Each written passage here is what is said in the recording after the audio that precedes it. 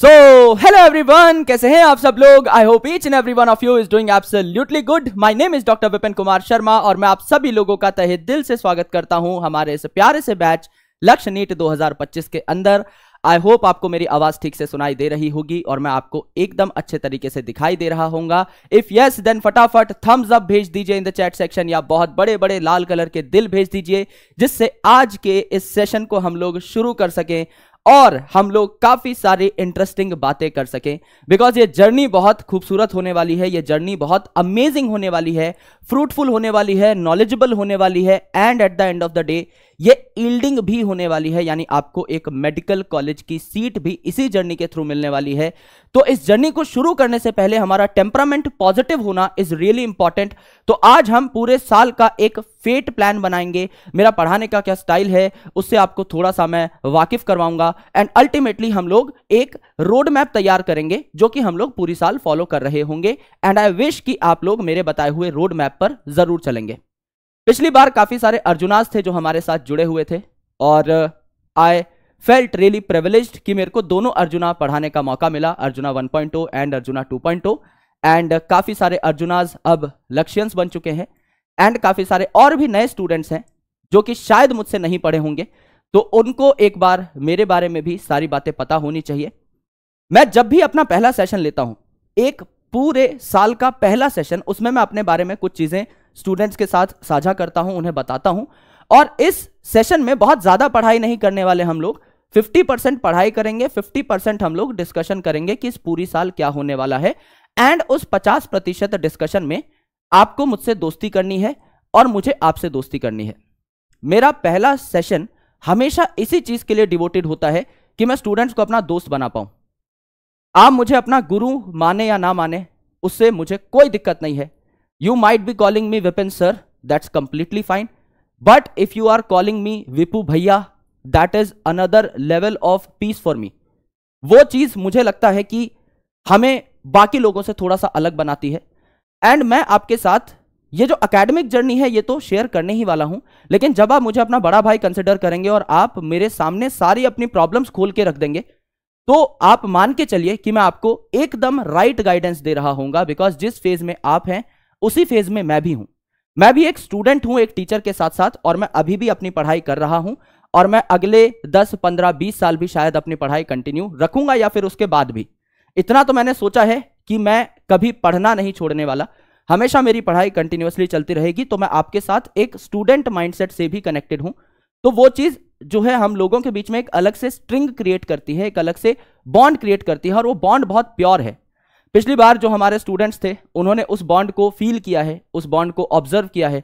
एक साथ, एक साल पूरी जर्नी के अंदर हम लोग साथ साथ चले हैं तो they understand that very well ये बात सिर्फ़ और सिर्फ़ नए स्टूडेंट्स के लिए है। नए लोग जो जारविस आर्मी के मेंबर बनने वाले हैं, उनके लिए है। तो हम लोग आज काफ़ी सारी बातें करेंगे। एकदम मान के रखिए कि दिल खोल के आपके सामने मैं रख दूँगा। और उसके बाद आपकी मर्ज़ी, आप इस जर्नी को कैसे देखना चाहते हैं। बट मैं हमेशा कहता हूँ कि शुरुआत पॉजिटिव होनी चाहिए और अंत पॉजिटिव मैं बना दूँगा। इतना अपने भाई के ऊपर भरोसा रखना कि पूरी साल अगर हम साथ मिलकर काम करेंगे तो एंड बहुत शानदार होगा, आपकी सोच से बेहतर होगा। बस आपको डेली अपना टाइम जो है, ईमानदारी से हमको देते रहना है। तो अगर हम शुरू करने के लिए तैयार हैं इस सेशन को तो एक बार फटाफट से लाल कलर के दिलों की बारिश कर दीजिए। रुकने नहीं चाहिए लाल कलर के दिल, उनसे हमें बहुत ज़्यादा लगाव है मेरे दोस्तों। सबसे पहले, क्योंकि आप अगर मुझसे पढ़ चुके हैं तो वेल एंड गुड आप मेरे बारे में अच्छी खासी बातें जानते होंगे हम लोग। बैच के बीच में भी कई बार कुछ महत्वपूर्ण किस्से शेयर करते रहते हैं। और अगर आप मुझे नहीं जानते तो बहुत ज़रूरी है आपको मुझे जानना। बिकॉज़ मैं हमेशा जब भी पहला सेशन लेता हूँ, मैं अपने स्टूडेंट्स को अपने बारे में ज़रूर बताता हूँ। Because I been a mediocre student initially मैं अकेडमिक्स पर बहुत ज़्यादा फोकस नहीं था। लेकिन उसके बाद मैंने अकेडमिक्स को कुछ अलग नज़रिए से देखना शुरू किया और बहुत सारे कीर्तिमान बनाए। और वो कीर्तिमान जो है, वो मैं हमेशा स्टूडेंट्स को बताता हूँ, सिर्फ़ इसलिए नहीं कि मुझे शेखी मारनी है। I am not that kind of person कि मुझे बहुत बड़ाई चाहिए या मैं किसी को नीचा दिखाना चाहता हूँ, इसीलिए मैं ये सारी बातें करता हूँ। लेकिन मैं चाहता हूँ कि आप इन गोल्स को अभी से परसीव करना स्टार्ट करें। मेरी लाइफ में कोई ऐसा नहीं था जिसको मैं एकदम लाइव एग्ज़ाम्पल मानूं कि इसने बहुत ज़्यादा कुछ उखाड़ रखा है और उसको मैं एग्जैक्टली exactly देख के अपनी लाइफ का रोड मैप बना पाऊँ। तो मेरे पास ऐसी इंस्पिरेशन बहुत कम थी, इसीलिए किताबों से एक लगाव हुआ और किताबी पात्रों से ही एक इंस्पिरेशन मिली। जैसे मेरी इंस्पिरेशन है लियोनार्डो डविंची एरिस्टोटल साहब, कलाम साहब, जिनको अपने डिसिप्लिन के अलावा और भी काफ़ी सारे डिसिप्लिन की नॉलेज थी। जैसे हम लोग तो बायोलॉजिस्ट हैं, आप एरिस्टोटल साहब के बारे में जानते होंगे that he is the father of biology पर आपको काफ़ी चीज़ें नहीं पता होंगी। He is a very well known name in philosophy also उनको अरस्तु कहा जाता था।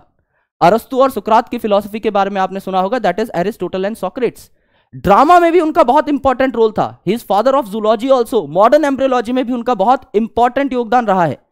यानी अपने फ़ील्ड के अलावा भी काफ़ी फील्ड्स पे उनकी मास्टरी थी। It means that he was jack of all trades उनको जो लगता था, जो दिखता था, वहीं से वो नॉलेज निकालने की कोशिश करते थे। And this is such a positive thing जो कि अगर हम अपनी लाइफ में एक परसेंट भी ला पाए नेक्स्ट लेवल का मज़ा आ जाएगा भाई।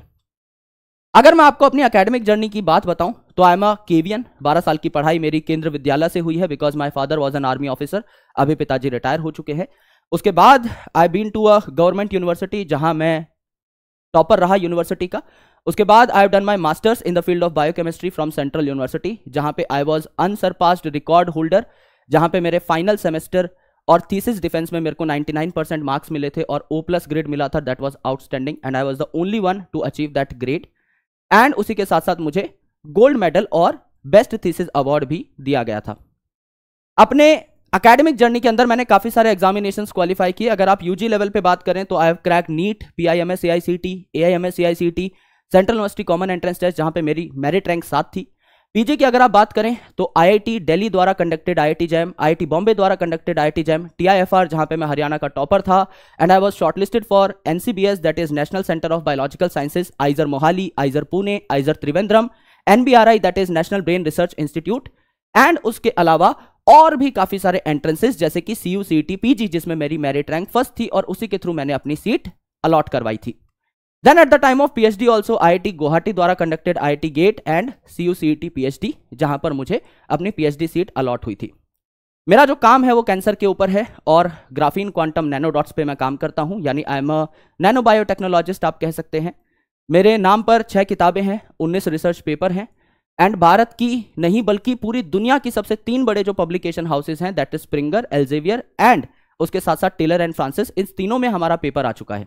जो कि एक बहुत बड़ी बात है, क्योंकि टेलर एंड फ्रांसिस में हमारा paper just last to last week he confirm हुआ था।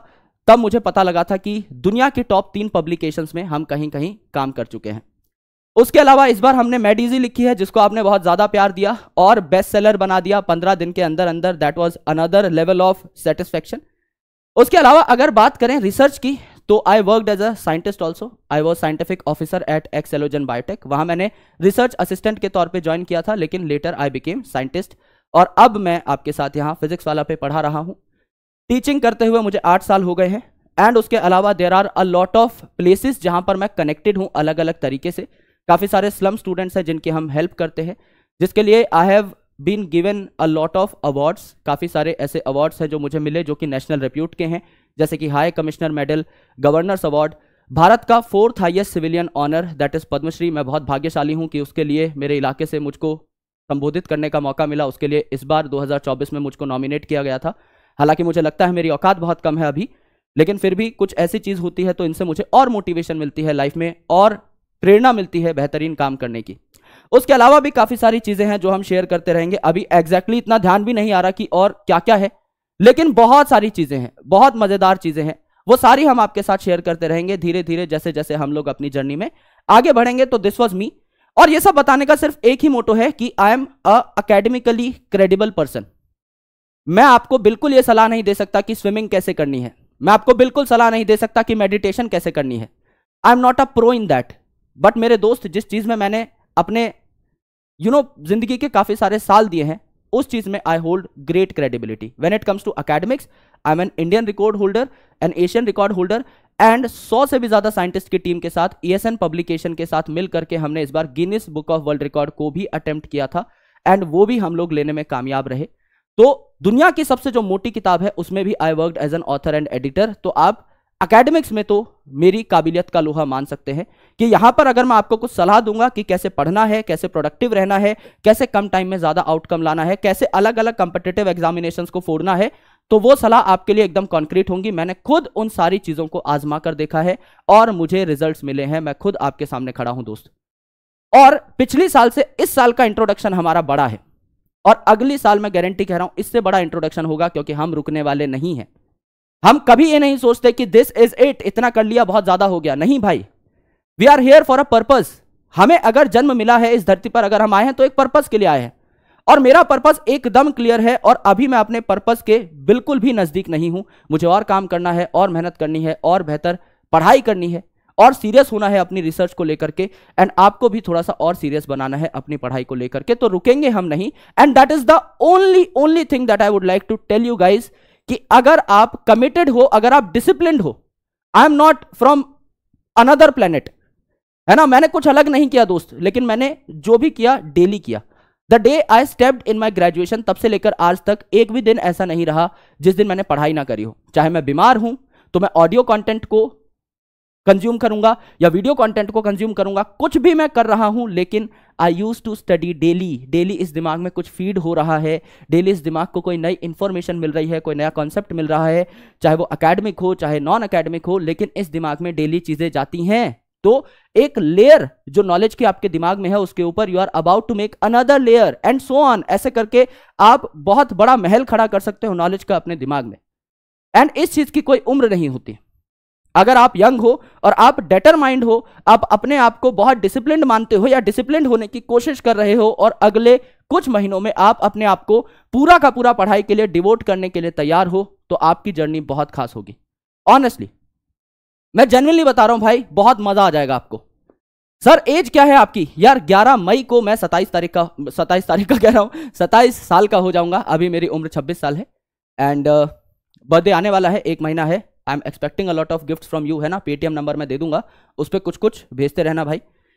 यहाँ पर एक रूल है जो कि बहुत ज़्यादा इंपॉर्टेंट है to crack any competitive examination किसी भी कॉम्पिटेटिव एग्जामिनेशन की धज्जी उड़ाने के लिए there is a rule called five P rule ये पाँचों पी जो है ना, इनमें से कुछ पी आपको आज से ही शुरू कर देने हैं। और आज मैं आपको वो पी जो है शुरू करके दूँगा। है ना? आज हम इसी पे काम कर रहे होंगे।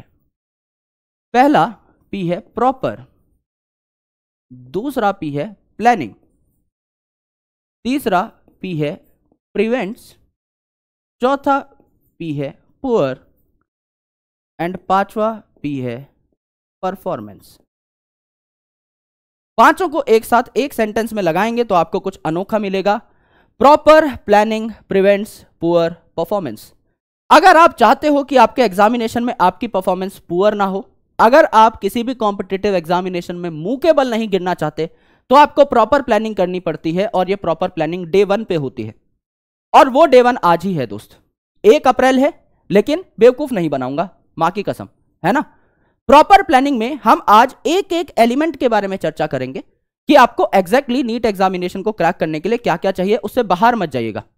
एक रोड मैप अगर आप बनाएँ तो प्लीज़ मेक श्योर आप उसको फॉलो करें। डेली डेली दीवार पे नया टाइम टेबल लगाना, उसको उखाड़ना, या फिर उसी के ऊपर दूसरा टाइम टेबल चिपकाना, इससे सिलेक्शन नहीं होते हैं। आपने ग्यारहवीं में ये सारी चीज़ें बहुत बार करके देख ली होंगी। Now it's time to get a bit serious और serious not in terms of कि आप मुँह ऐसा बैंगन जैसा बना के बैठे हो सोलेनम मेलोन जीना जैसा नहीं मेरे भाई।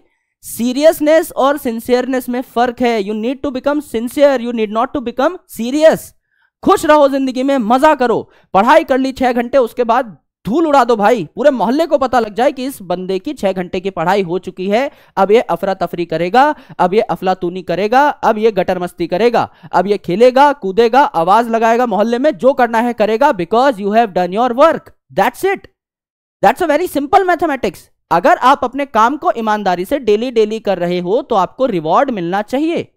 आपको गिफ्ट मिलना चाहिए। और वो गिफ्ट क्या है? खुशी ही तो है। अगर आज आपने अपना काम रात के आठ बजे खत्म कर दिया, क्या प्रॉब्लम है दस बजे तक टीवी देखने में? कोई प्रॉब्लम नहीं है, आराम से देखो। तारक मेहता का उल्टा चश्मा देखो इंस्टाग्राम पे रील्स देखो, जो देखना है देखो। मेरे दोस्त, कुछ ऐसे अपने ऊपर बर्डन मत लाना, अपने आप को ओवर बर्डन मत करना। बहुत कच्ची सी उम्र है, बहुत कच्चा सा दिमाग है, बहुत नाजुक सी उम्र में ना, बहुत बड़ा सपना देख लिया है हमने इस दुनिया को ठीक करने का डॉक्टर बनने का। लेकिन यह सपना पूरा तभी होगा जब आप बहुत पॉजिटिव चलेंगे और बहुत हेल्दी चलेंगे। इस तैयारी में कभी भी आपकी तबीयत खराब नहीं होनी चाहिए। अपने आप को इस तैयारी के नीचे, इस एग्ज़ाम के नीचे दबाना नहीं है। एजुकेशन का मकसद क्या है? To empower others to enlighten others education का मतलब यह नहीं होता कि मैं अपनी शिक्षा का घमंड खा जाऊँ और बाकी लोगों को दबा दूँ। नहीं, बल्कि उसका मकसद यह है कि मैं औरों को एनलाइटन कर सकूँ, औरों को एम्पावर कर सकूँ। यह शिक्षा का असली महत्व है। तो आप शिक्षित होंगे, आप पढ़ेंगे, आप बढ़ेंगे तो उससे आप पूरी दुनिया को एक पॉजिटिविटी दे पाएँगे। लेकिन उसके लिए आपका खुद का पॉजिटिव होना तो ज़रूरी है। आप आगे चल के पूरी दुनिया को हेल्दी बनाने की बात कर रहे होंगे डॉक्टर बन के, लेकिन क्या आप इस जर्नी के दौरान खुद हेल्दी थे? नहीं मेरे भाई। इसीलिए आपको हर चीज़ सोच समझ के करनी है और आराम आराम से चलना है। है ना? आप सीरियस होकर 12 घंटे भी पढ़ोगे 6 घंटे का आउटपुट निकाल पाओगे। आप खुश रहकर 6 घंटे पढ़ोगे तो भी 6 घंटे का ही आउटपुट निकलेगा। सिलेक्शन उसका नहीं होता जो ज़्यादा देर हाथ में किताब पकड़ के बैठता है। सिलेक्शन उसका होता है जो उस किताब की इज़्ज़त कर रहा है। और किताब की इज़्ज़त किस चीज़ में है? उस किताब को रंग बिरंगा करने में। उस किताब की पढ़ पढ़ के धजियाँ उड़ा देने में, उस नई किताब के कवर फाड़ देने में, उसमें किताब की इज़्ज़त छुपी हुई है। और आपको किताब की इज़्ज़त करनी है।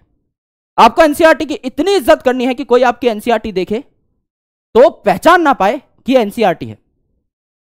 उसके ऊपर हाथ के इतने निशान हो मतलब अलग सलग गंदे संदे हाथ लगे हुए हैं, उसके ऊपर पेज पूरे सफ़ेद से ब्राउन हो रखे हैं भाई। हर एक लाइन इतनी बार हाईलाइटेड है, हर एक पॉइंट इतनी बार हाईलाइटेड है कि आपके दिमाग में यह भी छपा हुआ है कि आपने उसे किस कलर से हाईलाइट किया। एनसीआरटी एक महासागर है। कहने को ये 250-300 पेज की किताब है, लेकिन इसको अगर आप एक्सप्लेन करने पे आओगे और एक ऐसी किताब लिखोगे जो इसको डिकोड कर रही है तो इसे डबल ट्रिपल पेज लग जाएँगे। It contains that very information in a consolidated space ये बहुत ही ज़्यादा खतरनाक किताब है मेरे भाई। आज आपको इसका एक छोटा सा डेमो दूँगा। आज मैं जब आपको पहला टॉपिक पढ़ाऊँगा तो आपको पता लगेगा कि एनसीआरटी कैसे पढ़ी जाती है एंड तब आपको एक क्लैरिटी आएगी, एक चीज़ दिखेगी, जो शायद आज तक ना दिखी हो। तो प्रॉपर प्लानिंग करेंगे हम लोग, सारी सारी चीज़ों के बारे में चर्चा करेंगे, जिससे हम अपने आप को खराब परफॉर्मेंस से बचा पाए। लेक्चर फ्लो क्या होगा? मैं आपके लिए क्या करने वाला हूँ? सारी चीज़ें आपको बताता हूँ, आराम से सुनिएगा और ध्यान से इन सारी चीज़ों को आज ही एम्बाइब करने की कोशिश करिएगा। सबसे पहली चीज़ है हमारे क्लास नोट्स यानी जब मैं आपको पढ़ा रहा हूँगा तो मैं कभी भी कुछ लिखकर नहीं लेकर आता टॉपिक के नाम के अलावा, यानी मैं हर चीज़ आपको लिखकर पढ़ाता हूँ। तो क्लास नोट्स आपको एज इट इज़ मेरे साथ साथ लिखने का पूरा मौका मिलेगा, क्योंकि मैं भी साथ साथ ही लिख रहा हूँ। उसके बाद मैं आपको एनसीआरटी रीडिंग क्लास के अंदर ही कराता हूँ, यानी एक बार आपको मेरी एनोटेटेड एनसीआरटी मेरे साथ साथ रीड करनी है तो मैंने आपको पहले पूरा कंटेंट पढ़ाया, फिर मैंने आपको क्लास में ही एनसीआरटी याद करा दी। सारी बातें यहाँ पर हो गई। फिर हम एनसीआरटी से रिलेटेड क्वेश्चंस करते हैं हमारी किताब से, जिसका नाम है पंच। ऑब्जेक्टिव एनसीआरटी पंच से हमने शब्द बनाया, पंचायत, इसमें हमारे सारे भाई बैठते हैं। इसमें हम सरपंच होते हैं, बाकी सारे स्टूडेंट्स बैठ करके एक फ्रूटफुल डिस्कशन कर रहे होते हैं। अगर आपने पंच नहीं देखी है तो काफ़ी मोटी किताब है है ना? One of the thickest book for NEET preparation ये हमारी ऑब्जेक्टिव पंच है। इस साल ये थोड़ी सी पतली हो जाएगी, मई में इसका नया एडिशन आएगा बट मैं स्टिल रेकमेंड करूँगा, अगर किसी को लेना है तो पुराना एडिशन ले सकता है। पीडब्ल्यू स्टोर और एमेजॉन पे अवेलेबल है। इसके आपको मैं क्वेश्चन कराता हूँ प्लस मॉड्यूल के इंपॉर्टेंट क्वेश्चन कराता हूँ तो काम डन इसके बाद मेरे दोस्त, मैं आपको एक डीपीपी देता हूँ, जिसमें आपको कुछ ऐसे क्वेश्चंस मिलते हैं, जिनको प्रैक्टिस करके आपकी एनसीआरटी पर कमांड और स्ट्रांग होगी. प्लस मैं इसका सोल्यूशन भी बनाता हूँ तो आप उन सोल्यूशंस को देख के नई नई चीज़ें सीख भी रखते, सकते हो. अगली चीज़ आपको मिलती है हमारी मेडीजी है ना? मेडीजी के जो नोट्स हैं, ये भी आप ला सकते हो अगर आपको क्लास में नोट्स नहीं बनाने, आप चाहते हो कि आपका मेन जो फोकस है वो कॉन्सेप्ट को समझने पर हो तो मैंने ऑलरेडी अपने हैंड रिटन नोट्स की किताब लॉन्च कर दी है, जो कि हाथ से लिखी हुई है, पूरी एंड टू एंड ये मेरी ही हैंड राइटिंग है, मेरे ही नोट्स हैं। It is called as made easy आप आराम से इसको पढ़ सकते हो। एक आधा पन्ना आप ऐड करना चाहो तो कर सकते हो, जो कि क्लास में आपको एक्स्ट्रा बातें बताई जाएँगी। तो आपका नोट बनाने का टाइम बचता है, अब आप कितने स्मार्ट हो उस चीज़ पर ये चीज़ डिपेंड करती है। क्लास में नोट्स बनाना चाहते हो तो भी दैट्स कंप्लीटली फाइन फिर आपको नीट के सबसे ज़्यादा ज़रूरी पीवाई क्यू? हम लोग 2013 से 2023 तक के और आपका पेपर जब 2024 का हो जाएगा तो उसके क्वेश्चंस भी इनकॉर्पोरेट कर रहे होंगे। यानी 11-12 साल के सवाल हम लोग आपके क्लास में ही कर लेंगे। इसके अलावा आपके माइनर टेस्ट होंगे और माइनर टेस्ट के बाद आपके मेजर टेस्ट होंगे। एआईटीएस यानी ऑल इंडिया टेस्ट सीरीज़ होगी। यानी कि आपको मैं सिलेबस कम से कम दस बार करा दूँगा। इसके अलावा और भी चीज़ें हैं। These are the main things इसके अलावा और भी चीज़ें हैं। ये सारा नहीं है भाई। इसके अलावा मैं आपको अपने हैंड रिटर्न स्मॉल नोट्स भी दूँगा शॉर्ट नोट्स भी दूँगा, एक दो पेजेस में, जिससे कि आप एग्ज़ाम के टाइम पे उनको देख के फटाफट निकल जाओ। मैं आपको माइंड मैप भी बनवाऊँगा। आपका एग्ज़ाम से पहले एक बार फुल फ्लेजेड रिवीजन भी कराऊँगा। यानी मैं कम से कम दस बार आपको सारी चीज़ें अलग अलग स्टाइल में पढ़ा चुका हूँगा अगर आप सिर्फ़ बैच में सीरियस हो तो आपको कुछ और करने की ज़रूरत है ही नहीं। If you are serious with batch अगर आपने ये बैच ले लिया है, आप बहुत ईमानदार हो, आप हर क्लास को देख रहे हो, आपको कुछ भी करने की ज़रूरत नहीं है, किसी भी कोचिंग इंस्टीट्यूट का पेपर उठा के बैठ जाओ, सब क्वेश्चंस की धज्जियाँ उड़ा दोगे फॉर श्योर आराम से सारी चीज़ें हो जाएँगी। ये सारी चीज़ें सबसे इंपॉर्टेंट हैं जो हर लेक्चर के अंदर इनकॉर्पोरेटेड होती है। है ना? बोर्ड की भी पूरी तैयारी यहीं पे हो जाएगी। टेंशन लेने की ज़रूरत नहीं है, सौ में से सौ मारोगे। अपना व्यवहार टीचर्स के साथ अच्छा रखना, जिससे कि आपको स्कूल में तीस में से तीस नंबर मिल जाए, बाकी सत्तर में से सत्तर दिलाने की ज़िम्मेदारी हमारी, उसकी टेंशन आपको नहीं लेनी है। ये सारा हमारा बैच का फ्लो रहने वाला है, ये सारी चीज़ें हम आपको देंगे। अब सिलेक्शन के लिए आपको किस दिशा में जाना है, ये मैं आपको बता देता हूँ दोस्त। क्या चीज़ें आपके लिए इंपॉर्टेंट हैं? सबसे पहले एक चीज़ जो इंपॉर्टेंट है that is sole theory content best theory content sole theory content जिसके अलावा आपको मुँह उठाकर कहीं और देखने की ज़रूरत नहीं है, और वो कंटेंट आपको क्लास में ही मिल जाएगा, यानी अपना कंटेंट भाई की क्लास का कंटेंट इसके अलावा आपको कहीं और नहीं जाना है. इतनी थ्योरी मोर देन सफिशियंट है, कुछ भी क्रैक करने के लिए, कुछ भी मतलब कुछ भी. अब आप जितना ऊपर सोच सकते हो, वो आपके लिए बेहतर है. जितना ऊपर सोच सकते हो, आप सोच लीजिए ये theory content more than sufficient होने वाला है मोर देन एम्पल होने वाला है। इसके बाद आपको चाहिए होती है प्रैक्टिस प्रैक्टिस के लिए आपको बैच में फ्रीली क्या मिल रहा है? डीपीपी मिल रही है। क्या सफिशियंट होती है सर बिल्कुल सफिशियंट होती है। लेकिन हाथ में एक किताब चाहिए होती है। या तो आप डीपीपी इसका प्रिंट निकाल लो, जो कि ऑब्वियसली आपको बहुत कॉस्टली पड़ेगा। और डीपीपी में कोई भी बात आपको नहीं मिले तो एक टेक्निक जो कि हम हमेशा यूज़ करते आए हैं, उसका नाम क्या है? सप्लीमेंटेशन टेक्निक इससे भागना नहीं है, इसको अपनाना है। सप्लीमेंटेशन टेक्निक ये क्या होता है, सर? मेरे भाई, कई बार ऐसा होगा कि मैं जानबूझ के डीपीपी में एक ऐसा सवाल दूँगा जो आपसे ना बने। और आपको सवाल को देखकर डरना नहीं है, बल्कि आपको क्या करना है? आपको उस सवाल को अपने नोट्स में सप्लीमेंट करना है, जिससे कि आप अगली बार जब ऐसा कोई सवाल देख रहे हो तो आप उसकी धज्जी उड़ा पाए। This is called as supplementation technique कोई पीवाई क्यू है 2013 से पहले का, वो हत्थे चढ़ गया भैया, है ना? और ऐसा लगा, ये तो नई एनसीआरटी पढ़ के हो ही नहीं रहा है, सर। क्या करें? डरने की ज़रूरत नहीं है उस कॉन्सेप्ट में जितने भी पॉइंट्स हैं, वो सारे के सारे अपने नोट्स में सप्लीमेंट कर लीजिए। अगली बार जब आपको सेम सवाल दिखेगा तो क्या आप बना पाएँगे? बिल्कुल बना पाएँगे। This is called as supplementation right तो प्रैक्टिस के लिए आपको डीपीपी मिलेगी। डीपीपी के अलावा आप क्या ले सकते हैं? आप पंच ले सकते हैं या आप मॉड्यूल ले सकते हैं। राइट आप मॉड्यूल ले सकते हैं। जो आपकी इच्छा हो, अपने हिसाब से आप चुनाव कर सकते हैं। इससे आपकी प्रैक्टिस हो जाएगी।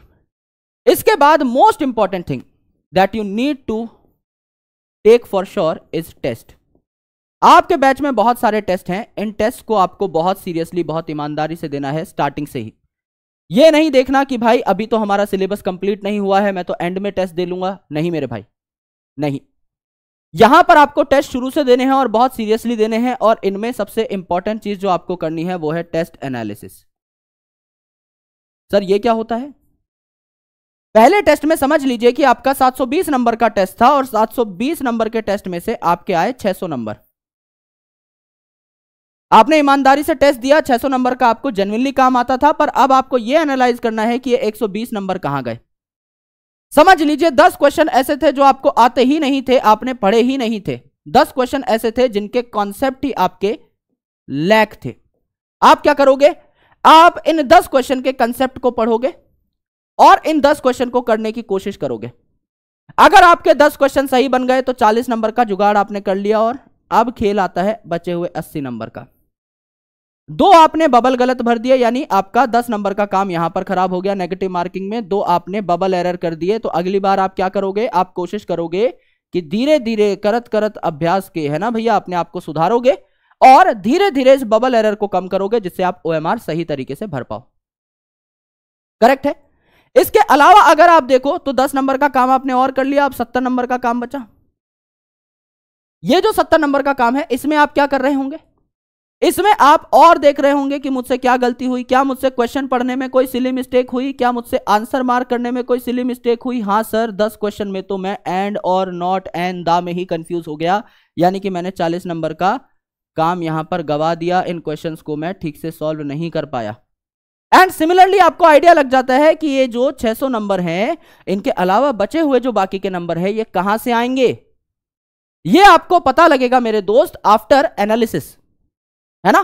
तो आपको अच्छे तरीके से टेस्ट को एनालाइज करना है, और उसके बाद आपको रिवीजन करने हैं। आप लोग पूछते रहते हो, सर, कितने रिवीजन करें? कम से कम ओवरऑल आपको, कम से कम ओवरऑल सात से आठ रिवीजन करने हैं। अगर आपको सात से आठ रिवीजन करने हैं तो ज़ाहिर सी बात है आपके रिसोर्सेज बहुत कन्फाइंड होने चाहिए। आप अगर एक बहुत मोटी किताब को पढ़ते हो तो आप उसे बार बार नहीं पढ़ सकते। आपको चीज़ों को शॉर्ट करना होगा। You need to make things very crisp तभी आप चीज़ों को अच्छे तरीके से समझ पाओगे अदरवाइज़ नहीं समझ पाओगे। आपका रिवीजन प्रॉपरली इसीलिए नहीं हो पाता, क्योंकि एक तो आप उसे टाइमली स्टार्ट नहीं करते। तीन महीने बाद रिवीजन करेंगे सर तब तक पता ही नहीं लगता कि पढ़ा क्या था। तब तक पढ़ा हुआ तो दिमाग से साफ़ हो जाता है मेरे भाई तो रिवीजन क्या करेंगे? अगर आपने आज कोई टॉपिक पढ़ा है तो कोशिश करिए एक वीक के अंदर अंदर उसका पहला रिवीजन हो जाए, एक मंथ के अंदर अंदर उसका दूसरा रिवीजन हो जाए। और सबसे बेस्ट तो यह है कि आपने आज ही चीज़ पढ़ी है तो आज ही उसका एक छोटा सा रिवीजन हो जाए। आँखों के सामने से पूरे डेटा को एक बार निकाल लीजिए। ये तीन रिवीजन सबसे इंपॉर्टेंट होते हैं, ये अगर आपने कर दिए तो मामला सेट है। ऐसा नहीं है कि तीन महीने बाद करूँगा। उसमें आपको सेम टाइम ही लगेगा। लेट से आज अगर कोई चैप्टर है, वो आपने दस घंटे में पूरा किया। एक चैप्टर है जो दस घंटे में पूरा हुआ। तीन महीने बाद इसको करने जाओगे तो ये नौ घंटे में पूरा होगा, यानी आपने क्या उखाड़ा? कुछ भी नहीं। बेसिक कॉन्सेप्ट आपके वैसे के वैसे ही हैं। बस रिपीटेटिव इंफॉर्मेशन को आपने काट दिया, यानी पहले जितना ही वक्त लग रहा है, इसे रिवीजन नहीं कहते, इसे दोबारा किताब पढ़ना कहते हैं। अगर आपने 10 घंटे में कोई चीज़ पढ़ी है और इसको आप जब फ़र्स्ट टाइम रिवाइज कर रहे हो तो आप दो घंटे में पढ़ पा रहे हो, फिर आप एक घंटे में पढ़ पा रहे हो, फिर आपको ऊपर ऊपर से चीज़ देखनी पड़ रही है, तीस मिनट में पढ़ पा रहे हो, बीस मिनट में पढ़ पा रहे हो, और चिट्टी रोबो की तरह ऐसे किताब निकाल रहे हो आँखों के सामने से झटपट एग्ज़ाम के टाइम पे दैट इज़ रिविजन उसको रिविजन कहा जाता है मेरे भाई? इसको रिविजन नहीं कहते। इसमें we are not solving any problem तो आपको सिर्फ़ थ्योरी के लिए लेक्चर देख रहे हैं, हमारे लेक्चर मोर देन सफिशियंट है। क्वेश्चन के लिए जितने हम क्वेश्चन देंगे, वो भी मोर देन सफिशियंट है। टेस्ट आपको ईमानदारी से देना है, अच्छे से देना है, क्योंकि खुद के साथ गद्दारी करके आज तक कोई नहीं जीता। आपको पता है कि आपको एक मेडिकल सीट अगर चाहिए तो वहाँ ईमानदारी से पेपर देना पड़ेगा। तो you need to give these test with full honesty and आपको रिविजन करना है कई बार। है ना? एक क्वेश्चन आ रहा है ओल्ड एनसीआरटी या न्यू एनसीआरटी भाई ओल्ड एनसीआरटी अब लेने का टाइम नहीं है go for new NCERT old NCERT का जितना भी कंटेंट आपको लगेगा, जितना भी कंटेंट आपको चाहिए होगा, वो मैं आपको प्रोवाइड कर दूँगा in the lecture itself along with question नई एनसीआरटी के साथ हम जाएँगे ओल्ड एनसीआरटी नहीं हम लोग ले रहे होंगे। अब एक चीज़ है जो मैं हर साल देता हूँ स्टूडेंट्स को और पुराने अर्जुनाज को पता भी होगा it is called as a success planner और अ सक्सेस ट्रैकर कई स्टूडेंट बोलते हैं, सर डिमोटिवेट हो रहा हूँ कॉन्फिडेंस नहीं आ रहा, क्या मेरा सिलेक्शन हो पाएगा, नहीं हो पाएगा? भाई, हमसे पूछने की ज़रूरत नहीं है। आप खुद पता लगा सकते हो आपका सिलेक्शन होगा या नहीं वाया दिस सक्सेस प्लानर मैंने जितने भी एग्ज़ाम दिए हैं, उन सबके लिए सक्सेस प्लानर डिज़ाइन किया है। आप समझ लीजिए कि आपके सिलेबस में अब कितने चैप्टर हैं बॉटनी के सिलेबस में सात चैप्टर हैं। पहला रिप्रोडक्शन इन फ्लावरिंग प्लांट्स फिर principles of inheritance and variation यानी जेनेटिक्स का first chapter molecular basis of inheritance genetics का second chapter microbes in human welfare ecology का first chapter organisms and population organism and population के बाद ecosystem and then biodiversity and conservation यानी ecology के तीनों chapter correct है? अब मेरे दोस्त, अगर आपने सेक्सुअल रिप्रोडक्शन के सारे लेक्चर देख लिए हैं, मेरी सारी वीडियोस आपने देख ली हैं लेट से दस वीडियोस हमने बनाई तो आप टिक कर देंगे, सर के दस के दस लेक्चर डन तो आप जीत के थोड़े करीब जा रहे हो। क्या आपने पंच सॉल्व कर ली है या मॉड्यूल सॉल्व कर लिए हैं? जो भी आप लेते हैं। बिल्कुल, सॉल्व कर लिए हैं, सर। क्या आपने पीवाई क्यू सॉल्व कर लिए हैं? कहाँ से कहाँ तक के? आराम से देखेगा 2013 से पीछे मुड़ के मत देखेगा, है ना? भूतिया पीवाई क्यूज है, डरा देते हैं, है ना? भूतनी बैठी है इसके पीछे। नहीं देखना है इसके पीछे मुड़ करके 2013 मैक्स टू मैक्स इतना पीछे जा सकते हो, हद से हद। पीवाई क्यू सॉल्व कर लिए? कर लिए, सर, मज़ा आ गया। नोट्स जो हमने बनाए थे, क्या वो रिवाइज कर लिए? बिल्कुल कर लिए। सर ने जो डीपीपीस दी थी, क्या उनको उड़ा दिया? बिल्कुल उड़ा दिया। पहला माइनर टेस्ट दूसरा माइनर टेस्ट दे दिया दे दिया। उसके बाद खुद टाइम लगने पे रिवीजन कर लिया रिवीजन कर लिया रिवीजन कर लिया रिवीजन कर लिया कर लिया। सारी चीज़ें कर ली। तो क्या इस चैप्टर में कोई मेरा हाथ पकड़ पाएगा? खुद बताओ यार। है ना? ईमानदारी से खुद सोचिए। अगर आपने किसी चैप्टर को इतनी बार इतने तरीकों से पढ़ लिया है क्या दुनिया में कोई ऐसी ताकत है जो अब आपसे sexual reproduction of flowering plants का सवाल पूछे और आप ना बता पाओ? क्या ऐसी कोई भी ताकत है जो आपको अब सिलेक्शन से रोक ले? नहीं। आप सिलेक्ट हो गए ही हो गए अब इस चैप्टर में आपका कोई हाथ नहीं पकड़ सकता। यह चैप्टर आपका डन है।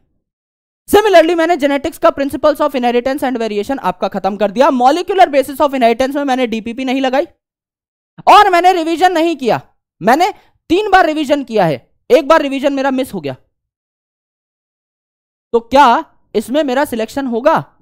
थोड़े से कम चांसेस है मेरे दोस्त, मुझे डीपीपी सॉल्व कर लेनी चाहिए एक बार अपना डर खत्म करने के लिए और रिवीजन को एक और बार कर लेना चाहिए। तो मज़ा आ जाएगा। तो सिलेक्शन के चांसेस हो जाएँगे। है ना? मैंने नोट्स रिवाइज नहीं करे इकोलॉजी के। बहुत गंदी बात है भाई, बहुत गलत बात है। मैंने लेक्चर नहीं देखे। तो नोट्स कहाँ से बनाऊँगा? रिवाइज कहाँ से करूँगा? यहाँ पर लैग हो गया भाई। यहाँ पर बैंड बजने के पूरे पूरे चांस है। क्योंकि इकोलॉजी आती है नोट से। इकोलॉजी में है एनसीआरटी इंपॉर्टेंट आपने लेक्चर नहीं देखे नोट्स नहीं बनाए तो खेल खत्म। यहाँ तो मल्टीपल रिवीजन चाहिए होते हैं तो आपने कोई जुगाड़ ढूंढ लिया, आपने कोई छोटा सा लेक्चर देख लिया, आपने उससे शॉर्ट नोट्स बना लिए तो मेन इंफॉर्मेशन मेन कॉन्सेप्ट आपका मिस हो गया। और एक बार अगर मेन कॉन्सेप्ट मिस हो गया तो कॉन्सेप्ट की तारा रारा हो जाती है। उसके बाद कॉन्सेप्ट वापस मुड़ करके आपकी तरफ़ नहीं देखता, बुरा मान जाता है। तो यहाँ पर हमको क्या करने हैं? सारे लेक्चर ईमानदारी से देखने हैं, जब भी वक्त लगे और नोट्स भी बना लेने हैं। यह है आपका सक्सेस प्लानर आज ही इसको बनाइएगा, ईमानदारी से बनाइएगा। आज ही सारे चैप्टर एनसीआरटी से देखिए फिजिक्स केमिस्ट्री बॉटनी जूलॉजी सबका सक्सेस प्लानर बनाइए। हर पेज पे एक साइड लिखिए चैप्टर के नाम और यहाँ लिखिए इतनी सारी चीज़ें तो हमें करनी ही करनी है। लेक्चर देखना है question solve PY Q notes DPPs and test के साथ साथ पाँच बार रिविजन दैट्स इट ये अगर आप करोगे तो मौज हो जाएगी। ये है आपका सक्सेस प्लानर अब आ जाते हैं मुद्दे की बात पे। अब आ जाते हैं सिलेबस डिकोड पे, यानी कि इस बार, इस साल हमको पढ़ना क्या है। है ना? इलेवेंथ का सिलेबस बड़ा था। अगर यहाँ पे मैं लिख दूँ कि इलेवेंथ का syllabus was greater than greater than twelfth का सिलेबस तो कोई गलत बात नहीं होगी। यह बात एकदम करेक्ट है। ट्वेल्थ का सिलेबस कंपैरेटिवली बहुत छोटा है। और जब आप इनिशियल चैप्टर को पढ़ लेंगे तो आप ये मान के चलिए कि आपका काम खत्म हो चुका है, आपको उसके अलावा कुछ भी नहीं पढ़ना। जैसे, सबसे फ़र्स्ट जो चैप्टर है, ये है यूनिट रिप्रोडक्शन का, जहाँ आप पढ़ेंगे सेक्सुअल रिप्रोडक्शन अरे वाह सर आते ही इतना बढ़िया चैप्टर नहीं भैया, फूल पत्ती वाला है। है ना? फ्लावरिंग प्लांट के बारे में पढ़ेंगे यहाँ पर। जो आप लोगों को चाहिए, वो जूलॉजी में है। Sexual reproduction in flowering plants यानी एनजियोस्पर्म्स में सेक्सुअल रिप्रोडक्शन हम लोग पढ़ रहे होंगे। सेकेंड यूनिट है हमारी जेनेटिक्स यहाँ पहला चैप्टर है principles of inheritance and variation ये मैं एनसीईआरटी के हिसाब से बता रहा हूँ दोस्त। Principles of inheritance and variation and दूसरी चीज़ जो है, ये है आपका पूरी बायोलॉजी का, समस्त बायोलॉजी का इलेवन ट्वेल्थ बॉटनी जूलॉजी सब मिला करके सबसे बड़ा chapter that is molecular basis of inheritance that is molecular basis of inheritance फिर आप आते हो थर्ड यूनिट पे, जहाँ पर एक ही चैप्टर है, छुटकू सा, जिसका नाम है माइक्रोब्स इन ह्यूमन वेलफेयर यानी है भी छुटके छुटके ऑर्गेनिजम्स के बारे में ही। माइक्रोब्स इन ह्यूमन वेलफेयर यानी इंसानों के लिए माइक्रोब्स क्या अच्छे अच्छे काम करते हैं? अभी तक तो हमें यही लगता है कि बीमारी कॉज करते हैं। लेकिन अच्छे अच्छे काम क्या करते हैं, ढंग के काम क्या करते हैं, उनके बारे में हम चर्चा करेंगे।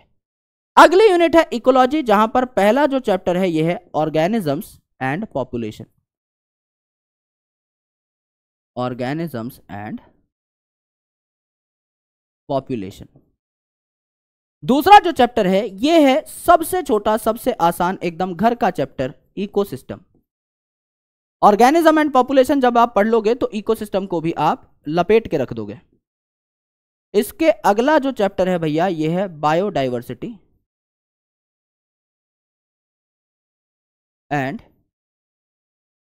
इट्स कंजर्वेशन ये आपके सात चैप्टर हैं, ये आपका पूरा सिलेबस है।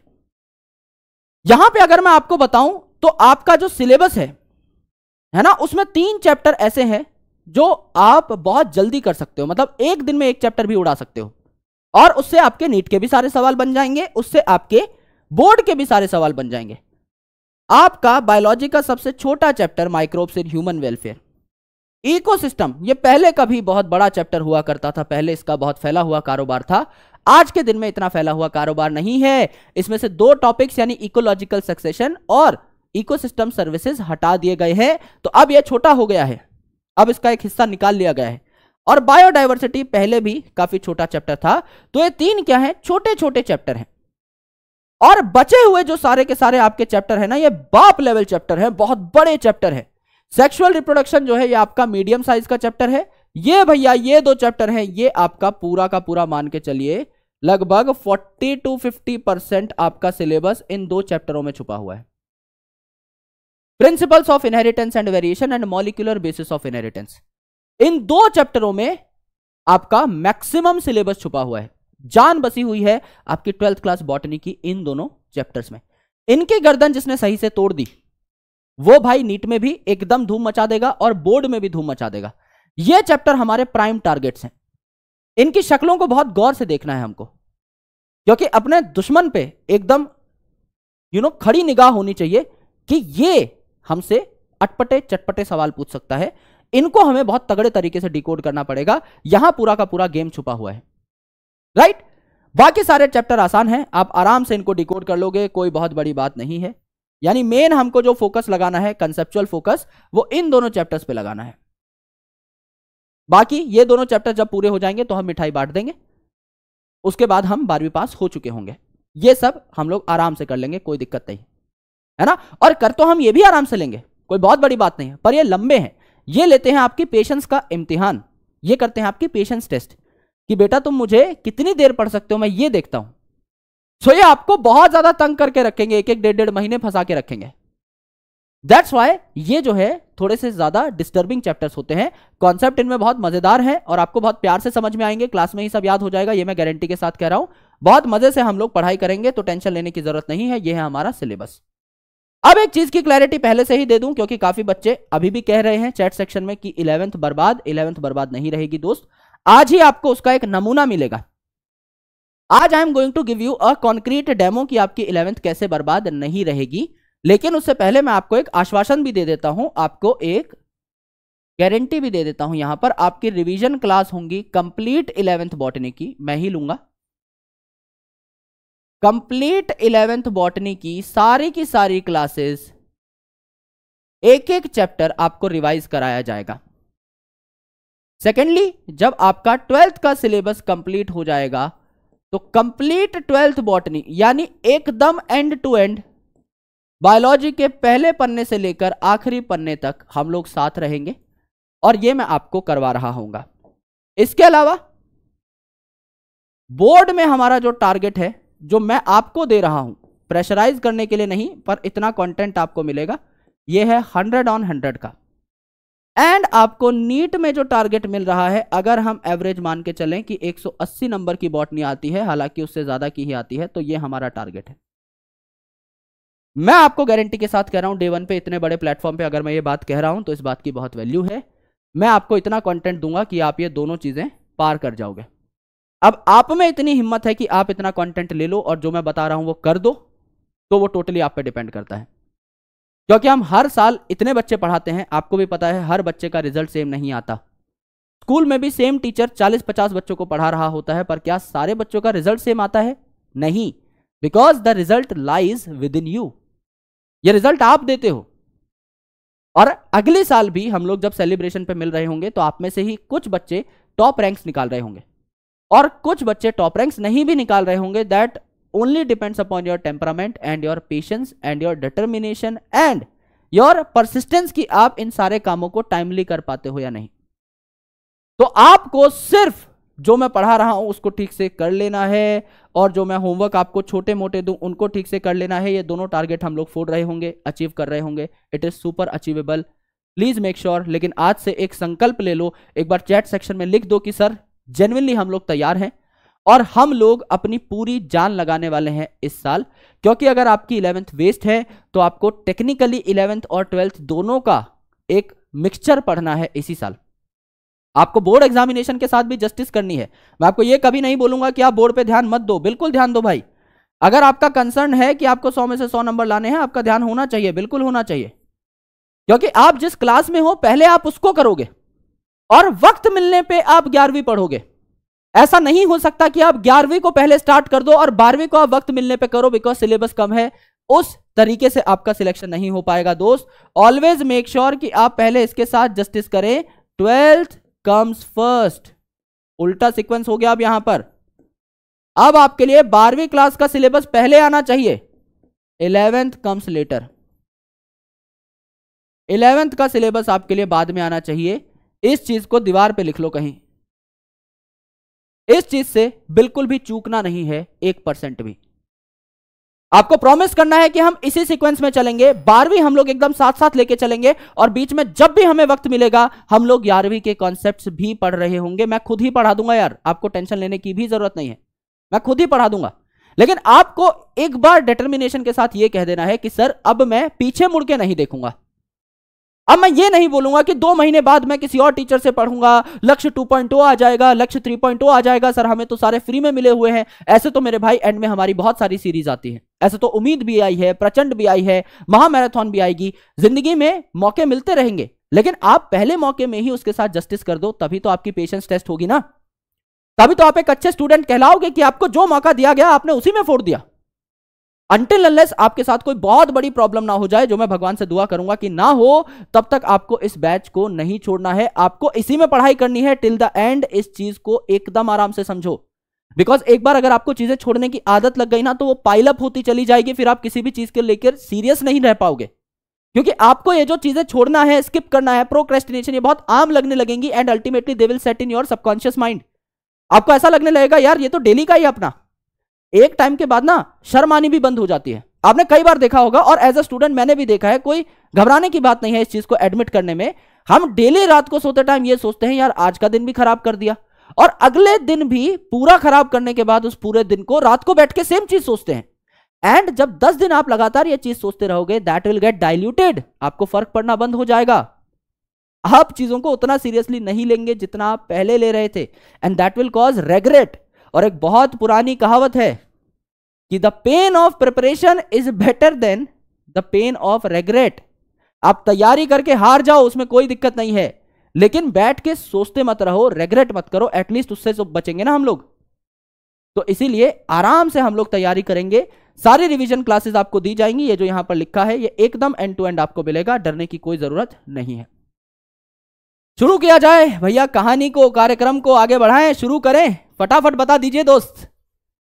अब आ चुके हैं हम लोग मोड पे and I believe in a simple philosophy zero time pass strategy I do not do any kind of time pass in class and के पाँच मिनट हम लोग बैठते हैं स्टूडेंट्स की प्रॉब्लम को केटर करते हैं। क्लास में सिर्फ़ और सिर्फ़ पढ़ाई की बातें होती हैं, उसमें थोड़े बहुत फनी एलिमेंट हम लोग लेकर आते हैं, जब भी ज़रूरत होती है, लेकिन हम सिर्फ़ और सिर्फ़ अब पढ़ाई की बात करेंगे इस पूरी साल। जो भी हमें कहानी सुनानी थी, हमने सुना दी। अब आपको बीच बीच में जब जब गाइडेंस की ज़रूरत रहेगी तो आपका भाई यहाँ पर खड़ा है। लेकिन आज हम लोग अभी चर्चा करते हैं हमारे सिलेबस की और श्री गणेश कर देते हैं हमारे सिलेबस का।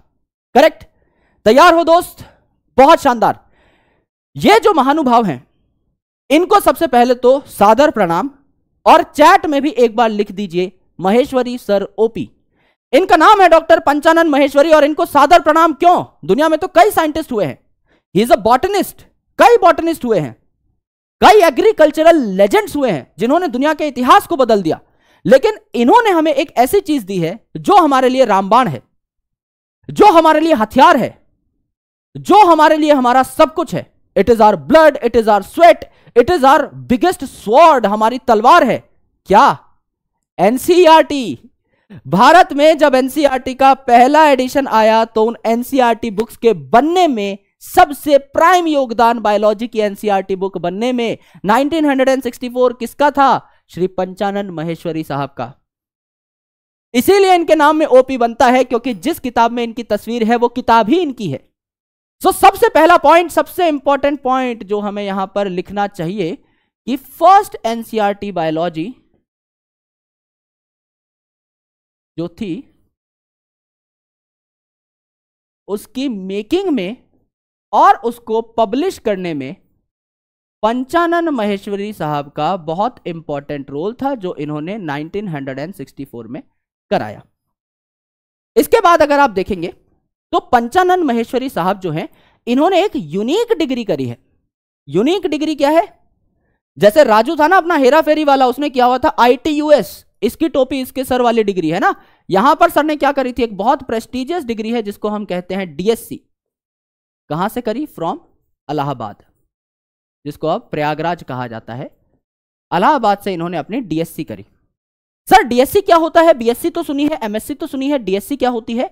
DSc in actual is a post doctoral degree यानी ये जो डिग्री है डॉक्टर इन साइंस ये एक्चुअल में पीएचडी के भी बाद होती है है ना? पीएचडी के भी बाद होती है।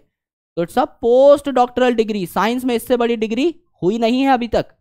यानी PhD is not the biggest degree इसके बाद डीएससी भी होती है तो it's a post doctoral degree जो हमारे महेश्वरी साहब थे he was one of the most distinguished botanist of the world पूरी भारत में तो इनका नाम था ही, लेकिन उसके अलावा पूरे विश्व में इनका नाम था। मोस्ट डिस्टिंग्विश्ड बॉटनिस्ट प्लांट के बहुत बड़े ज्ञानी, बहुत बड़े ज्ञाता माने जाते थे इन द वर्ल्ड राइट ये बहुत ही ज़्यादा बड़ी बात थी सारे भारतीयों के लिए। इन्होंने भारत को बहुत जगह रिप्रेजेंट किया है। इसके अलावा अगर आप देखें तो he was inspired by his guru और इनके गुरु का नाम क्या था? इनके गुरु जो थे, बहुत अच्छे आदमी थे। इनका नाम क्या था? डब्ल्यू डर्जियन और ये डर्जियन साहब बहुत अच्छे आदमी थे, मेरे जैसे ही थे। क्यों? क्योंकि हमेशा चाहते थे कि इनके स्टूडेंट्स इनसे आगे बढ़ें। इनके स्टूडेंट्स ज़िंदगी में इनसे भी बेहतर करें। And he felt that feeling for Panchanand Maheshwari साहब। जब पंचानंद महेश्वरी साहब अपनी फ़ील्ड में तबाही मचा रहे थे, तब डुर्जन साहब को जो फीलिंग आई, वो फीलिंग मुझे आपसे चाहिए। राइट तो सेम एक गुरु हमेशा सोचता है कि उसका कोई शिष्य ऐसा निकले जो दुनिया हिला के रख दे, कुछ ब्रेक थ्रू डिस्कवरीज करे और ऐसे ही कुछ स्टूडेंट्स आप निकलेंगे आगे चल के। मैं ऐसा बिलीव करके चल रहा हूँ एंड लाइफ में बहुत बड़ा बड़ा काम करेंगे। इनकी स्टडीज़ जो थी, वो किस पे थी? किस पे पढ़ाई करते थे? एम्ब्रियोलॉजी पे पढ़ाई करते थे। यानी प्लांट में एम्ब्रोलॉजिकल डेवलपमेंट जो था, उसके ऊपर बात करते थे, है ना? टेस्ट ट्यूब फर्टिलाइजेशन पे बात करते थे कि प्लांट में आपका आर्टिफिशियल फर्टिलाइजेशन कैसे करी जाए। इंट्रा ओवेरियन पॉलिनेशन के बारे में बात करते थे, जिसके बारे में हम लोग आगे चर्चा करेंगे हमारे इस चैप्टर के अंदर। है ना? इन पे काम किया आपके महेश्वरी साहब ने। तो ये सारी चीज़ें आप चाहो तो लिख सकते हो, ना चाहो तो ना लिखें बिकॉज़ एनसीआरटी में पढ़ाता हूँ कवर टू कवर एक एक पन्ना एक एक पॉइंट तो वहाँ पर महेश्वरी साहब का ज़िक्र था तो हमने भी इनका ज़िक्र किया। मोस्ट इंपॉर्टेंट पॉइंट इनके बारे में यही है। हालाँकि हम लोग थोड़ा आगे बढ़ते हैं अब और सिलेबस की डिस्कशन करते हैं, ये चीज़ें एग्ज़ाम में नहीं आएँगी। ये सिर्फ़ आपके रेफरेंस के लिए कि जब आप एनसीआरटी e पढ़ें तो आपको कॉन्फिडेंस आए कि आपने कुछ छोड़ा नहीं है। राइट? ये आप ना भी लिखें तो चलेगा। यहाँ पर देखिए, आइए चर्चा करते हैं इस चैप्टर के नाम की। हमारा पहला चैप्टर क्या है? फटाफट सब लोग चैट सेक्शन में लिखिए। दोस्त, हमारा पहला चैप्टर क्या है? Sexual reproduction in flowering plants. हमारा पहला चैप्टर क्या है? Sexual reproduction in flowering plants. क्या इस चैप्टर के नाम से आपको कुछ समझ में आ रहा है? क्या इस चैप्टर के नाम से हम कुछ डिकोड कर सकते हैं? बिल्कुल कर सकते हैं। इस चैप्टर में एक शब्द आ रहा है, सेक्सुअल रिप्रोडक्शन। और एक शब्द आ रहा है फ्लावरिंग प्लांट्स ये जो फ्लावरिंग प्लांट है, ये कौन से होते हैं दोस्त? ये जो फ्लावरिंग प्लांट है कौन से होते हैं? फ्लावर कौन से प्लांट्स में पाया जाता है? अगर मैं यहाँ पर लिख दूँ एंजियोस्पर्म्स तो क्या मैं सही हूँ? अगर मैं लिख दूँ यहाँ पर एंजियोस्पर्म्स तो क्या मैं सही हूँ? यस सर आप एकदम सही हो। एंजियोस्पर्म्स को ही फ्लावरिंग प्लांट कहा जाता है, क्योंकि एंजियोस्पर्म की तीन खास विशेषताएँ हैं, तीन खास प्रॉपर्टीज़ हैं। पहली प्रॉपर्टी है द प्रेजेंस ऑफ़ फ्रूट। यहाँ पर आपका सीड के ऊपर फ्रूट पाया जाता है, यानी फल पाया जाता है। दूसरी इंपॉर्टेंट चीज़ है द प्रेजेंस ऑफ़ फ्लावर, यानी फूल पाया जाता है। And third thing is the presence of double fertilization जिसके बारे में हम लोग चर्चा कर रहे होंगे इस चैप्टर में बहुत डिटेल में। यही हमारा फाइनल टॉपिक है कि इसमें दो प्रकार की फर्टिलाइजेशन होती है। ये तीनों की तीनों जो प्रॉपर्टीज़ हैं, ये सिर्फ़ और सिर्फ़ एंजियोस्पम्स में पाई जाती हैं और कहीं नहीं। प्लांट की पाँच कैटेगरीज होती हैं। सिंपल से कॉम्प्लेक्स की तरफ़ अगर चलें तो सबसे सिंपल प्लांट्स क्या होते हैं? एल्गी एल्गी का साइज़ बहुत छोटा होता है। कई एल्गी माइक्रोस्कोपिक भी होते हैं, इसीलिए इन्हें माइक्रो एल्गी भी कहा जाता है, जो पानी में काई बनाते हैं। एंड ये यूजुअली एक्वेटिक होते हैं, पानी में ही पाए जाते हैं। इसके बाद अगर आप देखोगे तो आते हैं ब्रायोफाइट बच्चे बायोलॉजी वाले एक बार अपने घर का एड्रेस भूल सकते हैं, पर यह बात नहीं भूल सकते कि bryophytes are the amphibians of plant kingdom एक बार को अपने पिताजी का नाम भूल सकते हैं, लेकिन यह नहीं भूल सकते कि mitochondria is the power house of the cell एक बार अपना जन्मदिन भूल सकते हैं, लेकिन यह नहीं भूल सकते कि cell is the structural and functional unit of life कुछ चीज़ें तो हमारे दिलों में गुदी हुई हैं दोस्त। एज अ बायोलॉजिस्ट हमने कमाया ही क्या है? यही तो तीन चार लाइनें ही तो हैं, जो कि हमारे जीवन का आधार हैं। इसी में से एक लाइन है bryophytes are the amphibians of plant kingdom amphibian amphi का मतलब होता है ड्यूअल यानी दोनों प्रकार की जगह पर पाए जाते हैं। पानी में भी पाए जाते हैं और पानी के आसपास लैंड पर पाए जाते हैं। पानी से बहुत दूर नहीं जा सकते। क्यों? क्योंकि इनको गैमीट ट्रांसफ़र के लिए पानी की आवश्यकता पड़ती है।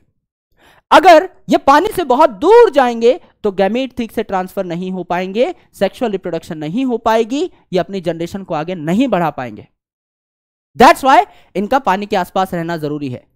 थर्ड टेरिडोफाइट है ना? ब्रायोफाइट टेरिडोफाइट मिलता जुलता नाम है मिलता जुलता ही काम है यह भी आपके पानी से बहुत ज़्यादा दूर नहीं पाए जा सकते।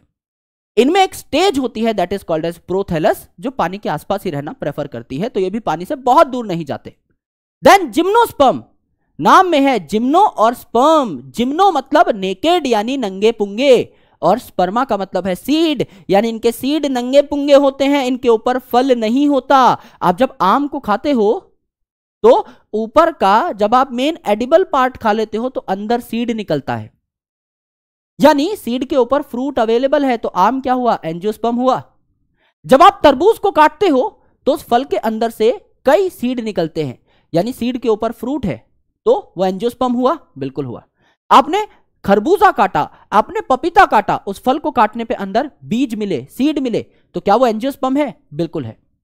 जब जिम्नोस्पम को आप देखते हो तो इनमें नंगे पुंगे सीड ही है इनके ऊपर कोई फल नहीं है। इसीलिए हम कह रहे हैं कि ये फल का होना, फूल का होना और डबल फर्टिलाइजेशन का होना सिर्फ़ और सिर्फ़ एंजियोस्पम्स में होता है और कहीं नहीं। तो पांचवी कैटेगरी सबसे इंपॉर्टेंट कैटेगरी आती है एंजियोस्पर्म यानी यहाँ पर स्पर्मा यानी सीड्स जो है, ये कवर्ड है। तो आप क्या लिख सकते हो यहाँ पर? इसका मतलब क्या है एंजियोस्पर्म्स का? Seeds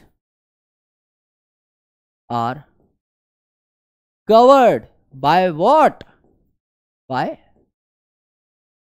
fruits. Fruit से सीड आपके कवर्ड होंगे। ये है डेफिनेशन एनजियोस्पम की या फ्लावरिंग प्लांट की। अब एक बात यहाँ पर नोटिस करिए। आराम से देखिए। मैं यहाँ लिख रहा हूँ all flowering plants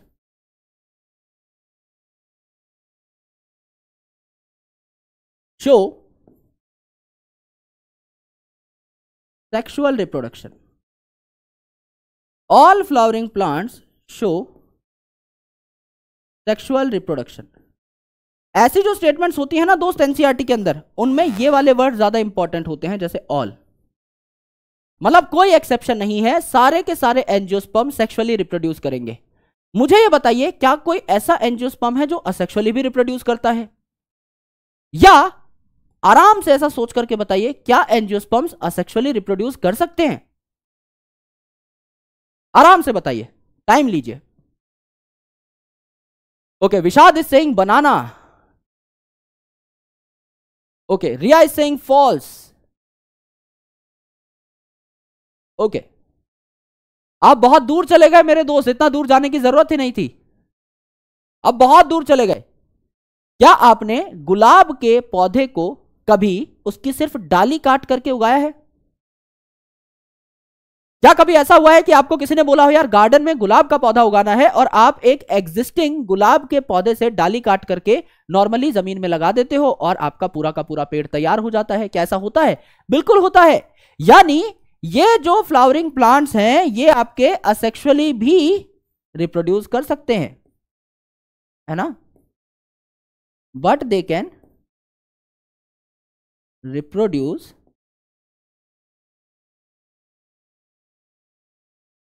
asexually या आप प्लांट में टर्म यूज़ करते हैं वेजिटेटिवली वेजिटेटिव प्रोपगेशन सुना हुआ है सबने? सुना हुआ है सर एग्ज़ाम्पल लिखना चाहेंगे? लिख लेंगे sir example stem of rose और बता दीजिए, अब तो असेक्सुअल रिप्रोडक्शन सुनते ही वेजिटेटिव प्रोपोगेशन सुनते ही, अब तो आप बता ही दोगे। आलू की आँख सुनी है? अगर आप एक आलू को देखें तो उसमें कई बार ट्यूबर्स लगे होते हैं, बड लगे होते हैं। तो ये जो बड ऑफ़ पोटैटो है, ये भी तो आपका नए आलू के पौधे को गिवराइज कर सकता है। कर सकता है ना भाई? तो यहाँ पर कोई सेक्सुअल रिप्रोडक्शन थोड़ी हो रहा है। मतलब सारे के सारे फ्लावरिंग प्लांट सेक्सुअली रिप्रोड्यूस कर सकते हैं, लेकिन इनके पास और भी चीज़ें होती हैं रिप्रोड्यूस करने के लिए। तो ज़रूरी नहीं कि सिर्फ़ सेक्सुअली ही रिप्रोड्यूस करें असेक्सुअली भी कर सकते हैं। Correct first point clear second important thing sexual reproduction भाई सेक्सुअल रिप्रोडक्शन क्या होता है? अगर आपको एक कॉन्क्रीट डेफिनेशन देने हो, एक कॉन्क्रीट डेफिनेशन तो क्या होगी सेक्सुअल रिप्रोडक्शन की? अब आप बोलेंगे, सर सेक्सुअल रिप्रोडक्शन वो है जिसमें वेरिएशन आती हैं। एकदम करेक्ट है। सर, आप सेक्सुअल रिप्रोडक्शन उसे कह सकते हैं जिसमें दो पेरेंट्स इन्वॉल्व होते हैं। ज़रूरी नहीं है। ज़रूरी नहीं है। एक प्लांट है जो बाइसेक्सुअल है, उस प्लांट में जो फूल है, उसमें मेल और फीमेल दोनों ऑर्गन्स हैं। तो क्या हमेशा दो पेरेंट की आवश्यकता पड़ी? नहीं। सेम प्लांट भी तो दोनों गैमीट बना सकता है। अगर आप देखो तो इसमें एग्जैक्ट डेफिनेशन क्या हो जाएगी? Sexual reproduction is a reproduction जहाँ पर दो चीज़ें हो gamete formation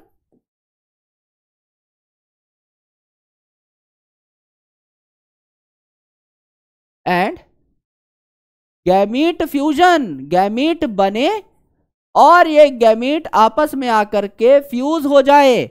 और गैमीट के फ्यूजन को क्या कहा जाता है दोस्त? गैमीट की फ्यूजन को क्या कहा जाता है? सर फर्टिलाइजेशन कहा जाता है। और इस फर्टिलाइजेशन से बनता क्या है? इस फर्टिलाइजेशन से डिप्लॉयड जाइगोट बनता है। फर्टिलाइजेशन से जाइगोट बनता है। बनता है सर इस प्रोसेस का नाम क्या है? फर्टिलाइजेशन है सर इस प्रोसेस का नाम क्या है? फर्टिलाइजेशन है सर राइट यानी आप यहाँ पर गैमेट फॉर्मेशन और फ्यूजन के बारे में चर्चा कर रहे होंगे, इसे सेक्सुअल रिप्रोडक्शन कहा जाता है। करेक्ट है? अब देखिए आराम से। ये जो एंजियोस्पर्म्स हैं, क्या ये दुनिया के सबसे एडवांस प्लांट्स हैं? सर हो सकते हैं। क्योंकि आप ही ने बताया कि पाँच तरीके के प्लांट हैं। सबसे सिंपल एल्गी, फिर ब्रायोफाइट, फिर टेरिडोफाइट, फिर जिम्नोस्पम फिर एंजियोस्पम यानी ये सबसे कॉम्प्लेक्स हुए, सबसे एडवांस हुए। बिल्कुल ये दुनिया के सबसे एडवांस प्लांट्स हैं। क्यों? क्योंकि इन्होंने अपने सीड को प्रोटेक्ट किया हुआ है बाय फ्रूट। तो एक कवर इनको मिल रहा होता है तो इनके सीड अलग अलग जगह पर जाकर उग सकते हैं। तो ये जो एंजियोस्पर्म्स हैं दे आर वेरी डोमिनेटिंग है। दुनिया में लगभग हर जगह आपके पाए जा सकते हैं। इतने डोमिनेटिंग है। क्यों? क्योंकि इन्होंने अपने आप को अडेप्ट कर लिया है। अपने आप को बहुत विकसित बना लिया है, जिससे कि ये अपना सेक्सुअल रिप्रोडक्शन कंप्लीट कर सकें। तो आप यहाँ पर क्या लिख सकते हैं? Angiosperms are most developed plants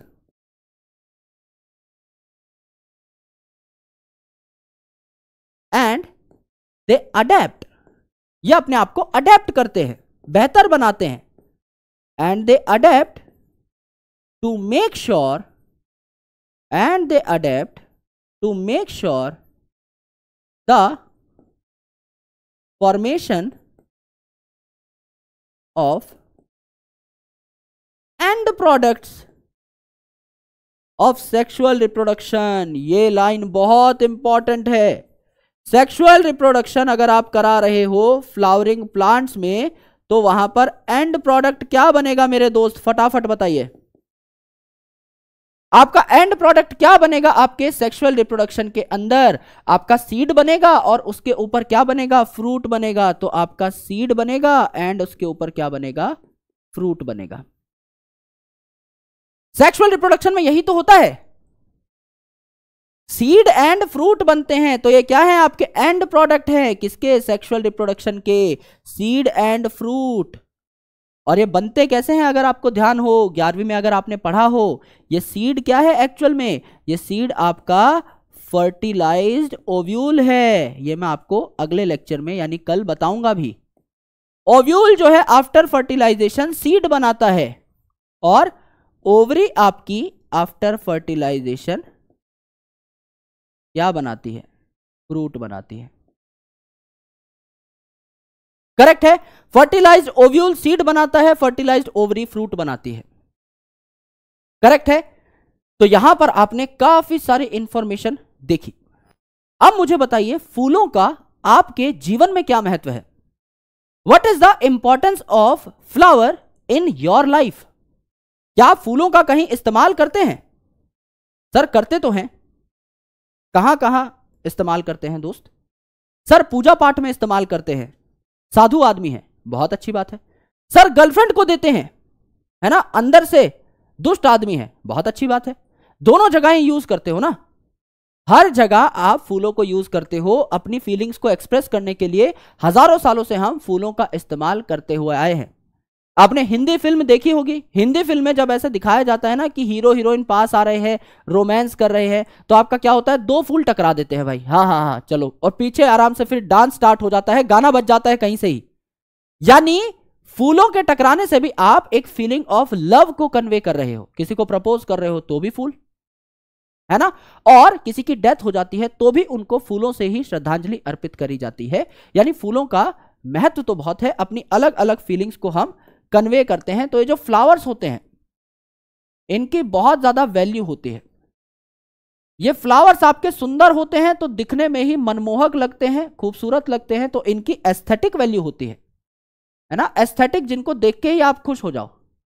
खूबसूरत होते हैं तो घर पे भी लगा सकते हो ऑर्नामेंटल जब भी कोई शादी ब्याह होता है तो आपके फूलों से घर को सजाया जाता है। है ना? ऑर्नामेंटल होते हैं। है ना? आपका रिलीजियस वैल्यू भी इनकी होती है। आप पूजा पाठ में भी इस्तेमाल करते हो।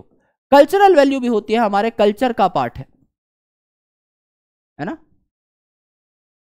कल्चरल वैल्यूज़ भी होती है। तो अलग अलग तरीके से आप फूलों का इस्तेमाल करते हो। और अपनी अलग अलग फीलिंग्स को भी आप कन्वे करते हो, फूलों को दे करके। For conveying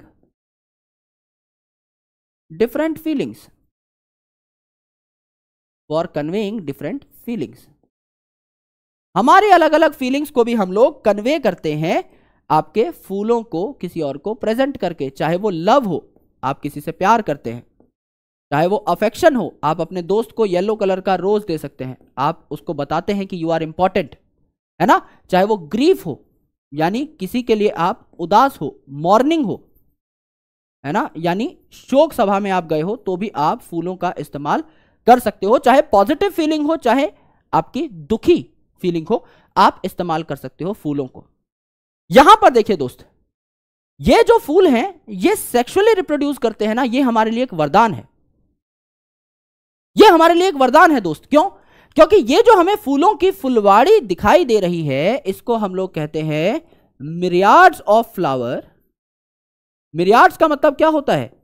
फूलों का झुंड, एक ग्रुप यानी यहाँ पर ये जो आपके फूलों की फुलवाड़ी हमको दिखाई दे रही है, ये इंपॉर्टेंट है। क्यों? समझ लीजिए यहाँ पर एक फूल पड़ा होता।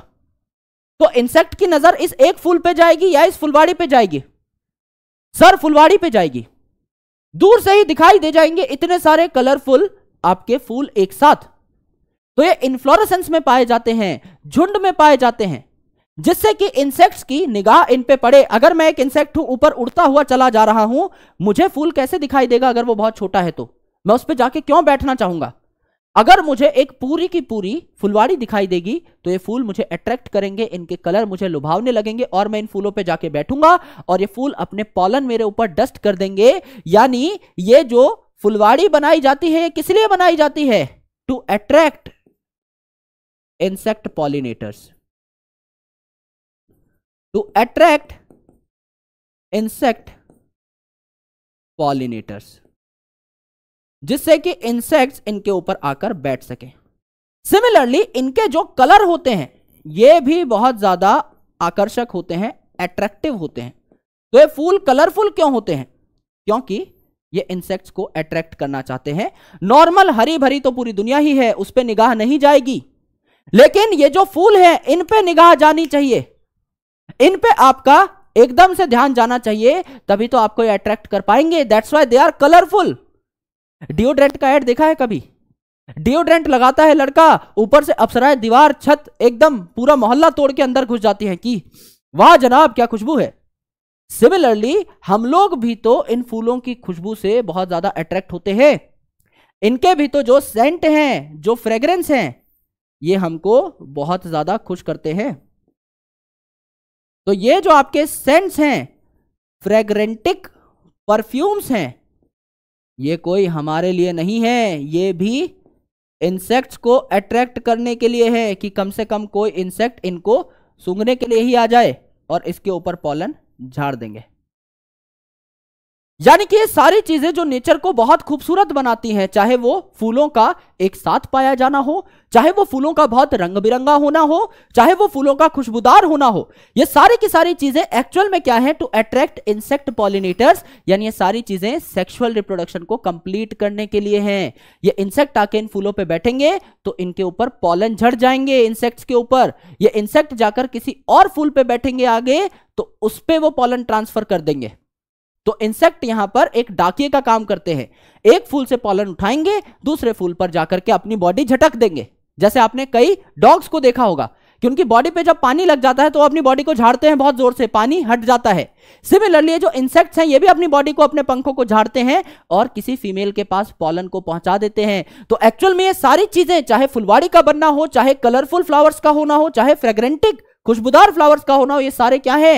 एड्स है रिप्रोडक्शन के, यानी टूल्स है रिप्रोडक्शन के, रिप्रोडक्शन में हेल्प कर रहे हैं ये। तो ये सारी चीज़ें क्या है? In actual, they all are aids of sexual reproduction. Sexual reproduction करने के लिए ये सारे के सारे क्या है? जुगाड़ है। इनको एड ऑफ़ सेक्सुअल रिप्रोडक्शन कहा जाता है।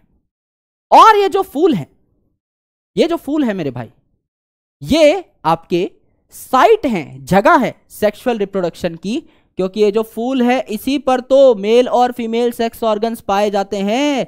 तो फ्लावर्स क्या हैं? Flowers are the sites of sexual reproduction sexual reproduction के लिए मेल और फीमेल सेक्स ऑर्गन चाहिए। वो कहाँ पाए जाते हैं?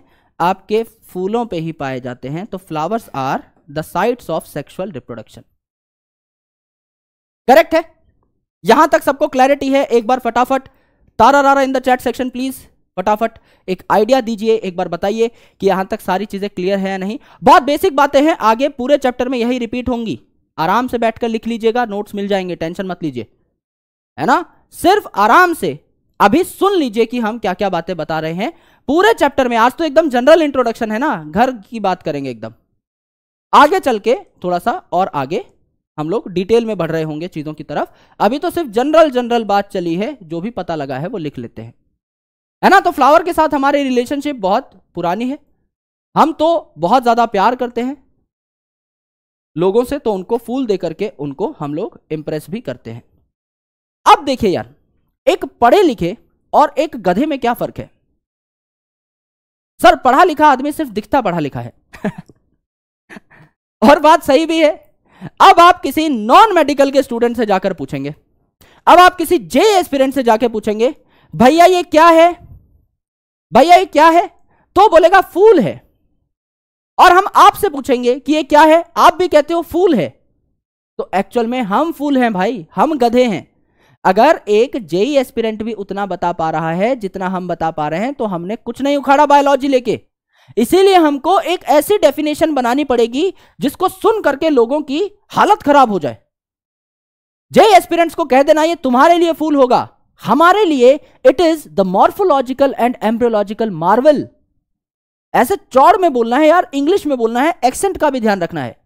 For you it is just a flower but for us it's morphological and embryological marvel it's very close to our heart तुम्हें पता नहीं है कि ये क्या है मेरे लिए, है ना? तो साइंटिस्ट ने क्या कहा फूल को? फॉर बायोलॉजिस्ट हम सब के लिए, हम सारे भाइयों के लिए, और बहनों के लिए, ये फूल क्या है? Flower is morphological and embryological marvel. And site of sexual reproduction जो हम पिछली स्लाइड में भी लिख चुके हैं। है ना? For us it is morphological and embryological marvel and site of sexual reproduction आज के बाद बता देना कोई फूल दिखे तो किसी जेई एस्पिरेंट के सामने शेखी मारनी हो कि ये क्या है? तो बता देना भाई, ये सिर्फ़ फूल नहीं है, ये मॉर्फोलॉजिकल और एम्ब्रियोलॉजिकल मार्वल है है ना? चौड़े हो जाना बहुत ज़्यादा।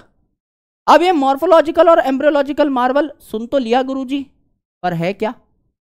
पहले हम तो जान लें, पता लगा आधा ज्ञान लेकर के चले गए शेखी मारने, है ना? सामने वाले ने ही बैंड बजा दी।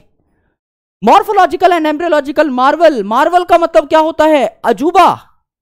ये एक अजूबा है दोस्त। फूल प्रकृति का एक अजूबा है। नेचर की एक बहुत खूबसूरत देन है। किस फॉर्म में? मॉर्फोलॉजिकल फॉर्म में। यानी अगर आपके पास, आपके सामने एक पूरा का पूरा पेड़ है तो उस पेड़ में से आपका ध्यान किस पार्ट पे जाएगा? अगर वो एक फ्लावरिंग पेड़ है तो आपका ध्यान किस पार्ट पे जाएगा? फूल पे जाएगा। तो मॉर्फोलॉजिकली अगर आप देखें तो सबसे ज़्यादा अट्रैक्टिव पार्ट है। Most attractive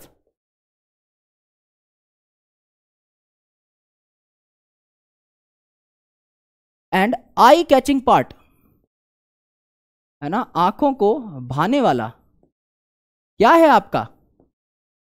फूल ही तो है। और एम्ब्रियोलॉजिकल भैया एम्ब्रियोनिक डेवलपमेंट यही तो होती है। है ना? जाइगोट कहाँ बनेगा? फीमेल के अंदर ही तो बनेगा। और फीमेल पार्ट कहाँ है? फूल में ही तो है।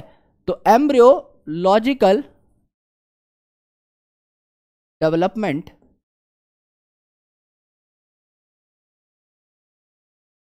occurs here embryological development यहाँ पे होती है तो ये मॉर्फोलॉजिकल मार्वल भी है, दिखने में सबसे खूबसूरत, और एम्ब्रोलॉजिकल मार्वल भी है, यहीं पर आपका एम्ब्रियो बनेगा। Correct and site of sexual reproduction यानी यहाँ पर मेल और फीमेल सेक्स ऑर्गन्स पाए जाएँगे। है ना? सेक्स ऑर्गन्स कहाँ पाए जाते हैं? फ्लावर पे ही पाए जाते हैं। तो यहाँ पर क्या पाए जाएँगे? मेल का सिंबल होता है ये एंड फीमेल का सिंबल होता है ये। तो male and female sex organs are found are found correct है दोस्त? यहाँ तक सबको समझ में आया? फटाफट एक बार बता दीजिए। यहाँ तक सबको क्लैरिटी है या नहीं? क्या क्या पढ़ा है हमने? एक बार दोबारा रिपीट कर देते हैं। दोस्त, कोई कंजूसी, कोई काम चोरी नहीं करेंगे। यहाँ तक की सारी बातें एक और बार रिपीट कर देते हैं। देखिए यह है पंचानंद महेश्वरी साहब। इनका जन्म जयपुर, राजस्थान में हुआ और इन्होंने अपनी DSc doctorate in science Allahabad से कंप्लीट करी। एनसीईआरटी का पहला एडिशन बनने में 1964 में इनका बहुत महत्वपूर्ण योगदान था। ये पूरी दुनिया के सबसे परम प्रख्यात बॉटनिस्ट में से एक थे। इनके जो गाइड थे, इनका नाम था डब्ल्यू डॉट जॉन साहब, जो हमेशा चाहते थे कि पंचानंद महेश्वरी लाइफ में बहुत अच्छा करें। तो इन्होंने एम्ब्रियोलॉजी पे काफ़ी काम किया। टेक्सोनॉमिक स्टडीज़ में भी एम्ब्रियोलॉजी को इंटीग्रेट किया। टेस्ट ट्यूब फर्टिलाइजेशन पे काफ़ी काम किया, है ना? इमेच्योर एम्ब्रियो कल्चर पे काम किया। इंट्रा ओवेरियन पॉलिनेशन पे काम किया, जो कि आपको नहीं पढ़ना होता, पर पढ़ लिया है तो बहुत अच्छी बात है। कुछ ना कुछ नया ही सीखा। फ्लावर आपके झुंड में पाए जाते हैं, ग्रुप में पाए जाते हैं, जिससे इंसेक्ट्स को अट्रैक्ट कर सके। फ्लावर कलरफुल हो सकते हैं, जिससे कि अगेन इंसेक्ट को अट्रैक्ट कर सके। एंड फ्लावर खुशबूदार हो सकते हैं, जिससे अगेन इंसेक्ट को अट्रैक्ट कर सके। लेकिन इंसान भी इनसे काफ़ी सारी चीज़ें डराइव करता है। कई सारे ऐसे खूबसूरत फूल हैं सुगंधित फूल हैं जिनसे हम परफ्यूम्स और सेंट्स बनाते हैं, जैसे कि आपका रोज है तो गुलाब जल बनाने में भी इस्तेमाल होता है। हिना जो है, वो परफ्यूम में इस्तेमाल होता है। तो there are a lot of flowers जिनको हम इस्तेमाल करते हैं। तो हमारी जो भी फीलिंग्स हैं, वो हमेशा से हम कन्वे करते आए हैं वाया फ्लावर्स और ये जो फ्लावर है, ये सेक्सुअल रिप्रोडक्शन में अपना मेन रोल अदा करते हैं, क्योंकि मेल और फीमेल रिप्रोडक्टिव ऑर्गन्स यहीं पाए जाते हैं, जो मैं आपको अभी स्ट्रक्चर में बताऊँगा। देखिए सेक्सुअल रिप्रोडक्शन मतलब यहाँ गैमीट बन भी रहे हैं और गैमीट फ्यूज भी हो रहे हैं तो गैमीट के फ्यूज होने से क्या बनेगा? जाइगोट बनेगा। Right and angiosperm flowering plants को एंजियोस्पम कहा जाता है, जिनकी तीन खास प्रॉपर्टीज़ हैं, फूल का प्रेजेंट होना, फल का प्रेजेंट होना और डबल फर्टिलाइजेशन जो कि आगे आने वाले लेक्चर में हम डिटेल में पढ़ेंगे। जितने भी फ्लावरिंग प्लांट हैं, ये सेक्सुअली रिप्रोड्यूस करते हैं। लेकिन असेक्सुअली भी रिप्रोड्यूस कर सकते हैं वेजिटेटिव प्रोपेग्यूल से भी रिप्रोड्यूस कर सकते हैं। हर एंजियोस्पर्म चाहता है कि वो अपने आप को अडेप्ट करे, जिससे वो मेक श्योर sure कर पाए कि उसके सीड और फ्रूट प्रॉपरली बने, जिससे वो अलग अलग जगह जाकर उग सके। फ्लावर की डेफिनेशन बायोलॉजिस्ट के लिए क्या है? They are morphological and embryological marvels यानी एक कुदरत का करिश्मा है मेरे दोस्त, जो कि दिखने में भी सबसे खूबसूरत है और आपके एम्ब्रियोलॉजिकल मार्वल्स भी है, इनमें एम्ब्रियोनिक डेवलपमेंट भी होती है, आपके सीड भी यही बन रहे होते हैं। है ना? क्योंकि एम्ब्रियो किसके अंदर होता है? इनसाइड सीड होता है। तो आपका सीड भी यही आपका बन रहा होता है। है ना? ये हमने देखा। अब हमारा आज का सबसे इंपॉर्टेंट टॉपिक सबसे important topic how flowers are formed ये फूल आखिर बनते कैसे हैं? आराम से देखिएगा। ये आपकी ज़मीन है। है ना? हिस्सा मांगने मत आ जाना। आपकी ज़मीन है मतलब हमारी ज़मीन है। हम बना रहे हैं। ये हमारी ज़मीन है दोस्त। ठीक है? इस ज़मीन पर अगर हमने एक बीज बोया तो ऊपर की साइड वो क्या बनाएगा? शूट सिस्टम बनाएगा। और नीचे की साइड वो क्या बनाएगा? रूट सिस्टम बनाएगा। ठीक है? रूट की टिप पर पाए जाने वाले सेल जो पूरी रूट को तैयार करते हैं, इनको क्या कहा जाता है? रूट की एपेक्स पे पाए जाने वाले सेल, टिप पे पाए जाने वाले सेल क्या कहलाएँगे? रूट एपिकल सेल्स, और ये कंटिन्यूसली डिवाइड करते हैं तो इनको मेरिस्टमेटिक सेल कहा जाता है। तो ये है आपका आर यानी आपका राम, रूट एपिकल मेरिस्टम। और यहाँ पर आपका शूट एपिकल मेरिस्टम है। यानी शूट की टिप पे पाए जाने वाले सेल शूट एपिकल मेरिस्टम जिसको हम लोगों ने क्या बोला? साम बोला। साम बोला। रूट एपिकल मेरिस्टम और शूट एपिकल मेरिस्टम के सेल ये जो शूट एपिकल मेरिस्टम के सेल होते हैं ना, ये हवा में तो सेल ऐड करेंगे नहीं, नीचे की साइड सेल्स ऐड करेंगे और पूरी शूट बनाएँगे। और ये रूट एपिकल मेरिस्टम के सेल नीचे मिट्टी में तो सेल ऐड करेंगे नहीं, ऊपर की साइड सेल्स ऐड करेंगे और पूरी रूट बनाएँगे। ये बात हमें पहले से पता है। नहीं भी पता तो कोई बात नहीं, अब पता लग गई। अब मेरे दोस्त, यहाँ पर आपको फूल बनाना है। तो जब आपको फूल बनाना होता है तो एक सिग्नल जनरेट होता है शूट एपिकल मेरिस्टम के सेल्स जो है, ये किसमें कन्वर्ट हो जाते हैं? शूट एपिकल मेरिस्टम के सेल्स जो है, ये किसमें कन्वर्ट हो जाते हैं? ये कन्वर्ट हो जाते हैं आपके फ्लोरल मेरिस्टम में। फ्लोरल है ना? फ्लावर के अल्फ़ाबेट आ रहे हैं ना इसमें। फ्लोरल मेरिस्टम में, यानी ऐसी मेरिस्टम जो कि आपका फ्लावर बनाएगी। तो ये कब कन्वर्ट हुआ फ्लोरल मेरिस्टम में? जब सिग्नल आए टू मेक फ्लावर है ना? When decision of flowering is taken जब डिसीज़न ले लिया प्लांट ने कि हाँ भैया अब तो फूल उगाना ही है, उस टाइम पर shoot apical meristem floral meristem में कन्वर्ट हो गए। करेक्ट अब ये जो फ्लोरल मेरिस्टम के सेल्स है, ये आपके डिवाइड करना शुरू कर दिए। और डिवाइड करके इन्होंने फ्लावर के अलग अलग पार्ट बना लिए। फ्लावर के अलग अलग पार्ट बना लिए। ठीक है? यहाँ पर देखिए इन्होंने क्या क्या बना लिया। इन्होंने हरे भरे सेपल बना लिए। इन्होंने रंग बिरंगी पंखुड़ियाँ यानी पेटल बना लिए। इन्होंने आपका मेल सेक्स ऑर्गन यानी आपका एंड्रोशम बना लिया। और इन्होंने female sex organ that is gynoecium बना लिया। Right right? इन्होंने क्या बनाया सारे के सारे पार्ट बना लिए। इन्होंने आपका सेपल बना लिए। इन्होंने आपके रंग बिरंगी पंखुड़ियाँ यानी पेटल बना लिए। इन्होंने आपका मेल सेक्स ऑर्गन यानी एंड्रोशियम बना लिया। और इन्होंने फीमेल सेक्स ऑर्गन यानी गायनोशियम बना लिया। पर पंगा क्या हुआ? आराम से देखिएगा, इलेवेंथ लिंक करके पढ़ा रहा हूँ, है ना? अभी जब दिखाऊँगा तो होश उड़ जाएँगे, एंड तक रहना इस सेशन में, है ना? आराम से देखना। ये जो सारी की सारी चीज़ें बनी है अलग अलग नोड्स से बनी। नोड्स जहाँ से आपके पत्ते उगते हैं, वहाँ से अब फूल के पार्ट्स उग रहे हैं तो ये क्या है आपके अलग अलग नोड्स हैं। तो अलग अलग नोड्स से अलग अलग नोड्स से आपके अलग अलग फ्लावर के पार्ट्स उगे? यस। अलग अलग नोट से आपके अलग अलग फ्लावर के पार्ट उगे? यस। पर क्या ये अच्छे लग रहे हैं? नहीं सर, अच्छे नहीं लग रहे। फूल तो एक साथ ही अच्छा लगता है। इतना फटा हुआ फूल हमें नहीं चाहिए। तो यहाँ पर क्या हो गया? यहाँ पर आपके ये नोड के बीच का जो स्पेस होता है ना इंटर नोड ये नोड के बीच का जो स्पेस होता है ना इंटर नोड ये आपका शॉर्ट हो गया। यानी नोड्स आपके पास पास आ गए। तो मैंने यहाँ पर क्या लिखा? Internode short and internode short हो गया। एंड एक्सिस आपकी कंडेंस हो गई, एक्सेस आपकी छोटी हो गई। एक्सिस आपकी कंडेंस हो गई, एक्सिस छोटी हो गई। यानी कि यहाँ अगर आप देखेंगे तो ये सारे नोड इतने पास पास आ गए कि हमें लग रहा है कि सेम जगह से ही सारे के सारे फ्लावर के पार्ट उग रहे हैं।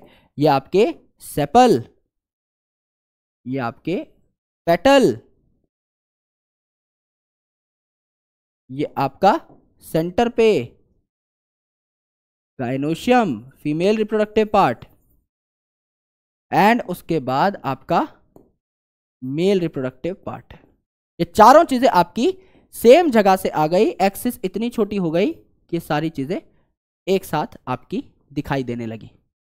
ये है आपका फ्लावर अब आराम से सुनिएगा दोस्त। अब एक ऐसा कॉन्सेप्ट पढ़ाऊँगा, दिमाग के तार पूरे के पूरे अच्छे तरीके से एक दूसरे से कनेक्ट हो जाएँगे। आराम से देखना। मैं कह रहा हूँ कि फ्लावर के अलग अलग पार्ट अलग अलग नोड पे बने। फिर ये सारे नोड पास पास आ गए, यानी एक्सिस कंडेंस हुई तो पूरा फूल एक जैसा बन गया। ऐसा लग रहा है एक ही जगह से सारे पार्ट्स अराइज हो रहे हैं, है ना? तो एक्सिस कंडेंस हो गई। अब यहाँ पर अगर आप देखें तो कुछ चेंजेस हुए, है ना? कुछ चेंजेस हुए। यहाँ पर आपकी पहले कली बनती है, बड बनता है, तब फूल बनता है ना? तो आपके यहाँ पर कुछ चेंजेस हुए। ये कैसे चेंजेस हुए? मॉर्फोलॉजिकल चेंजेस हुए। आपका कली से फूल जब बना तो मॉर्फोलॉजिकल चेंजेस हुए ना? मॉर्फोलॉजिकल चेंजेस हुए, तब जाके आपका बड से फ्लावर बना है। एंड बड से फ्लावर बनाने के लिए, भाई कली से फूल बन रहा है। जब आप भी कली से फूल बनते हो, जब आप भी बचपन से जवानी में पैर रखते हो तो हार्मोनल चेंजेस आते हैं। बिल्कुल आते हैं। जवानी में एड्रेनलिन रश होता है, कोई किसी को कुछ नहीं समझता मेरे भाई। हमेशा ये लगता है कि मैं ही सही हूँ। मैं ही सबका बाप हूँ, बाकी सब गधे हैं। ये फीलिंग बहुत बार आती है और कई लोगों को आती होगी। गुस्सा एकदम चरम सीमा पर रहता है। ये दुनिया ऐसे क्यों नहीं चल रही जैसा मैं चाहता हूँ? ऐसा लगता है। टेस्टोस्टेरॉन का लेवल एकदम बूस्टेड रहता है। है ना? ऐसा लगता है कि हाथ में किसी की बाइक आ जाए, बस 120 पे एकदम पूरा का पूरा यू नो एक्सेलरेटर ऐसा घुमाऊं मैं कि हवा को चीरते हुए निकल जाऊँ। क्योंकि हमारे अंदर भी तो हार्मोनल रश आता है मेरे दोस्त फीमेल्स के अंदर भी तो ऑस्ट्रोजन प्रोजेस्टेरॉन बढ़ता है, आपके अंदर भी तो टेस्टोस्टेरॉन एड्रेनलिन बढ़ता है। तो फ्लावर के अंदर भी जो प्लांट ग्रोथ रेगुलेटर होते हैं, वो नहीं बढ़ रहे होंगे क्या? कोई तो ऐसा हार्मोन होगा जो फ्लावरिंग कराता है, बड को फूल में कन्वर्ट करता है, कोई तो ऐसा हार्मोन होगा? बिल्कुल होगा सर और वो हार्मोन कौन से थे? ग्यारहवीं क्लास में हमने दो हार्मोन्स के बारे में पढ़ा था। इथाइलिन आपका फ्लावरिंग की शुरुआत करता है। इथाइलिन फ्लावरिंग को इनिशिएट करता है और ऑक्सिन फ्लावरिंग को प्रमोट करता है किसमें? पाइनएप्पल में।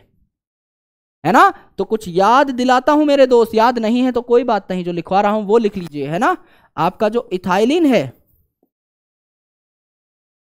it initiates flowering in pineapple. And auxin promotes एक बार इनिशिएट कर दिया है अगर आपका इथाइलिन ने it promotes flowering in pineapple pineapple तो बोलने की बात है, और भी प्लांट्स में। फ्लावरिंग का जो काम है कौन कराते हैं? ऑक्सिन और इथाइलिन एक शुरू कर रहा है, एक आगे बढ़ा रहा है। करेक्ट है दोस्त? एकदम करेक्ट है। अब देखिए एक्चुअल में क्या हुआ? यहाँ पर देखिए, मैं आपके लिए कुछ लेकर के आया हूँ। यह है एक दतूरे का फूल। यह है एक दतूरे का फूल, आराम से देखेगा अब इस दतूरे के फूल के इतने पार्ट को अगर आप देखें तो दिस इज़ अ बड ये एक बड है जो टिंगा सा दिखाई दे रहा है ना मेरी उंगली के जस्ट पीछे, सारे पत्ते हटा देता हूँ। जो टिंगा सा दिखाई दे रहा है दिस इज़ अ बड तो पहले एक पेड़ पे क्या आया? बड आया। जो शूट एपिकल मेरिस्टम के सेल थे, वो फ्लोरल मेरिस्टम में कन्वर्ट हुए और उसने एक छोटा सा बड बना दिया।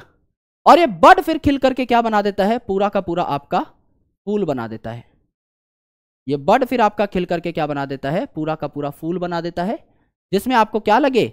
मॉर्फोलॉजिकल एंड हार्मोनल चेंजेस लगे, ये आपका दतूरा यहाँ पर बन करके तैयार हो जाता है। राइट ये आपका दतूरा बन करके तैयार हो जाता है। तो फ्लावरिंग हमको यहाँ पर करानी थी तो हार्मोनल चेंजेस आए, मॉर्फोलॉजिकल चेंजेस आए, एक्सेस आपकी क्या हो गई? कंडेंस्ड हो गई। करेक्ट है भाई? यहाँ तक सबने सीखा?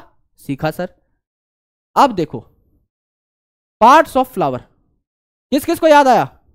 मैं जानता हूँ थोड़ा सा ब्लर है, पर ऑब्वियसली अब कैमरा जो है, वो बोर्ड पे ज़्यादा शिफ्टेड है तो समझ नहीं आएगा आपको, फिर भी एक बार दिखाने की कोशिश करता हूँ। देखिए। है ना? I hope it is clear now ये जो उंगली के जस्ट नीचे दिखाई दे रहा है ब्लड है, पर इतना तो पता लग रहा है ना, हरे कलर का कुछ है। तो ये क्या है आपका? बड है, कली है ना? और तोड़ के दिखा देता हूँ, आसपास के सारे पत्ते तोड़ देता हूँ। अब उजाड़ देंगे आज दतूरा को। है ना? आसपास के सारे पत्ते तोड़ देता हूँ। यहाँ पर देखिए, ये जो है आपकी, ये क्या है? कली है, बड है, छोटा सा बड, ठीक है? ये मेरे भाई, ये क्या है आपका? पूरा का पूरा फूल है। तो बड से ये बनाया तो एम्ब्रोलॉजिकल आपके यहाँ पर हॉर्मोनल और मॉर्फोलॉजिकल सॉरी चेंजेस हुए। ये हमारा भाई ही इज़ बैक कालीचरण बैक है ना? जिन जिनको नहीं पता, इसका नाम है कालीचरण। इसने हमारी मॉर्फोलॉजी में बहुत हेल्प की थी। पार्ट्स ऑफ़ फ्लावर याद करने में। यह है कालीचरण काली चरण आ गया। कालीचरण आ गया है भैया। कालीचरण आ गया है तो इससे आप कैलिक्स और कोरोला की कंफ्यूजन मिटा देते हो। कालीचरण भैया के नाम से ही कैलिक्स और कोरोला की कंफ्यूजन भाग जाती है। सबसे आउटर मोस्ट कौन होगा आपका? सबसे आउटर मोस्ट पार्ट कौन सा होगा आपका फ्लावर का? यहाँ पर आप देखिए, कली के अंदर ये जो आपके कलर्ड पार्ट है, अंदर है, बाहर आपका क्या है? प्रोटेक्टिव पार्ट है। यानी पत्ते बाहर की साइड है सेपल बाहर की साइड है कलरफुल पार्ट अंदर है तो सबसे बाहर क्या होगा आपका? सेपल होगा। तो सेपल को हम किससे रिप्रेजेंट करेंगे? के से, हमेशा याद रखेगा हालाँकि नाम है इसका कैलिक्स तो सी से स्टार्ट होता है, लेकिन के से रिप्रेजेंट करेंगे तो काली चरण इससे हमें पता लगता है कि सैपल को के बोला हमने? इसके अंदर क्या है भैया? पेटल है। इसके अंदर क्या है भैया? आपका पेटल है रंग बिरंगी पंखुड़ियाँ हैं। तो इसके अंदर क्या है? पेटल आए। और पेटल को रिप्रेजेंट कर देंगे सी से। तो इसका नाम क्या हो जाएगा? कोरोला। तो अब कैलिक्स और कोरोला दोनों ही सी से थे तो कंफ्यूजन होती है। कौन सा के, कौन सा सी? काली चरण आ गया, जो बाहर की साइड है, यानी सेपल वो के जो अंदर की साइड है, यानी पेटल वो सी यहाँ पर देखिए। आ गया ए फॉर एंड्रोशियम यानी मेल सेक्सुअल पार्ट एंड्रोशियम यानी मेल सेक्स ऑर्गन एंड आपका गया, यानी गायनोशियम आप में से कुछ लोग आगे चल के डॉक्टर बन रहे होंगे, ज़ाहिर सी बात है है ना? तो गायनोशियम कई लोग गायनेकोलॉजिस्ट भी बन रहे होंगे। गायनेकोलॉजिस्ट गायनैक यानी फीमेल के डॉक्टर है ना? तो यहाँ पर क्या हुआ? गायनोशियम ये गायनेक से ही वर्ड लिया गया है। इसका मतलब क्या है? Female sex organ female sex organ correct तो ये जो सारे के सारे पार्ट हैं, जो रिप्रोडक्शन में हेल्प करते हैं ना, इनको क्या कहा जाता है? असेंशियल फ्लोरल पार्ट्स ये असेंशियल होते हैं। तो इन्हें असेंशियल होल्ड्स या असेंशियल पार्ट्स कहा जाता है। और ये जो आपके डायरेक्टली सेक्सुअल रिप्रोडक्शन में हेल्प नहीं कर रहे होते कैलिक्स कोरोला ये कहलाते हैं नॉन एसेंशियल या एक्सेसरी पार्ट्स जैसे आप जब फ़ोन लेने जाते हो तो phone is the main thing essential उसके साथ एक्सेसरी भी मिलती है ना? चार्जर है ना? पावर बैंक कभी किसी के साथ एक्स्ट्रा उठा लिया, है ना? आपका टेम्पर्ड ग्लास बाकी सारी चीज़ें एक्सेसरी हैं। मेन क्या है आपका? मेन है आपका फ़ोन इसी प्रकार से फ्लावर जो कि एक रिप्रोडक्टिव ऑर्गन है प्लांट का रिप्रोडक्टिव स्ट्रक्चर है तो इसमें जो रिप्रोडक्शन से संबंधित ऑर्गन है, ये एसेंशियल हुए, बाकी सारी चीज़ें आपकी एक्सेसरी करेक्ट है? ये चार चीज़ें आपको देखने को मिलती है। तो इसके बाद स्ट्रक्चर बना लेते हैं। ये हमारी फाइनल स्लाइड है। इसके बाद आपको कुछ नई चीज़ें अब बताऊँगा मैं। है ना? आराम से देखिए। यहाँ पर है फूल की डंडी। फूल की डंडी। फूल में डंडी बहुत ज़रूरी है दोस्त। है ना? वैलेंटाइंस डे अभी कुछ दिन पहले गया ही है भैया। हमारे भी कुछ मित्र दोस्त फूल खरीद रहे थे। और एक एक फूल का भाव सुन के मुझे पता लगा कि वैल्यू डंडी की है भाई, फूल की नहीं है।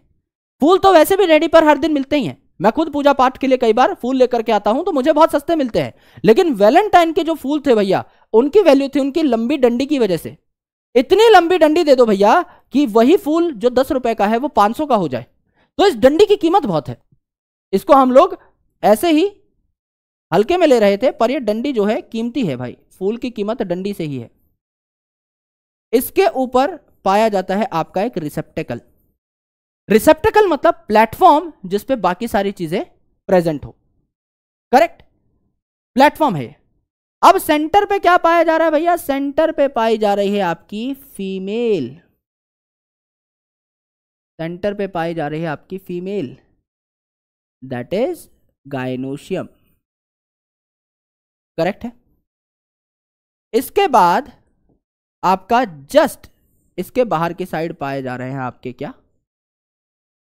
आपके मेल, समझ लीजिए, दो बना लिए, दस बना लो चाहे, है ना? श्रद्धा है भाई, अपनी मन मर्ज़ी है, कितने भी बना सकते हैं, है ना? अभी रेफरेंस के लिए कितने भी बना सकते हैं, असलियत में किसमें कितने होते हैं, ये हम अलग अलग फैमिलीज़ में पढ़ रहे होंगे।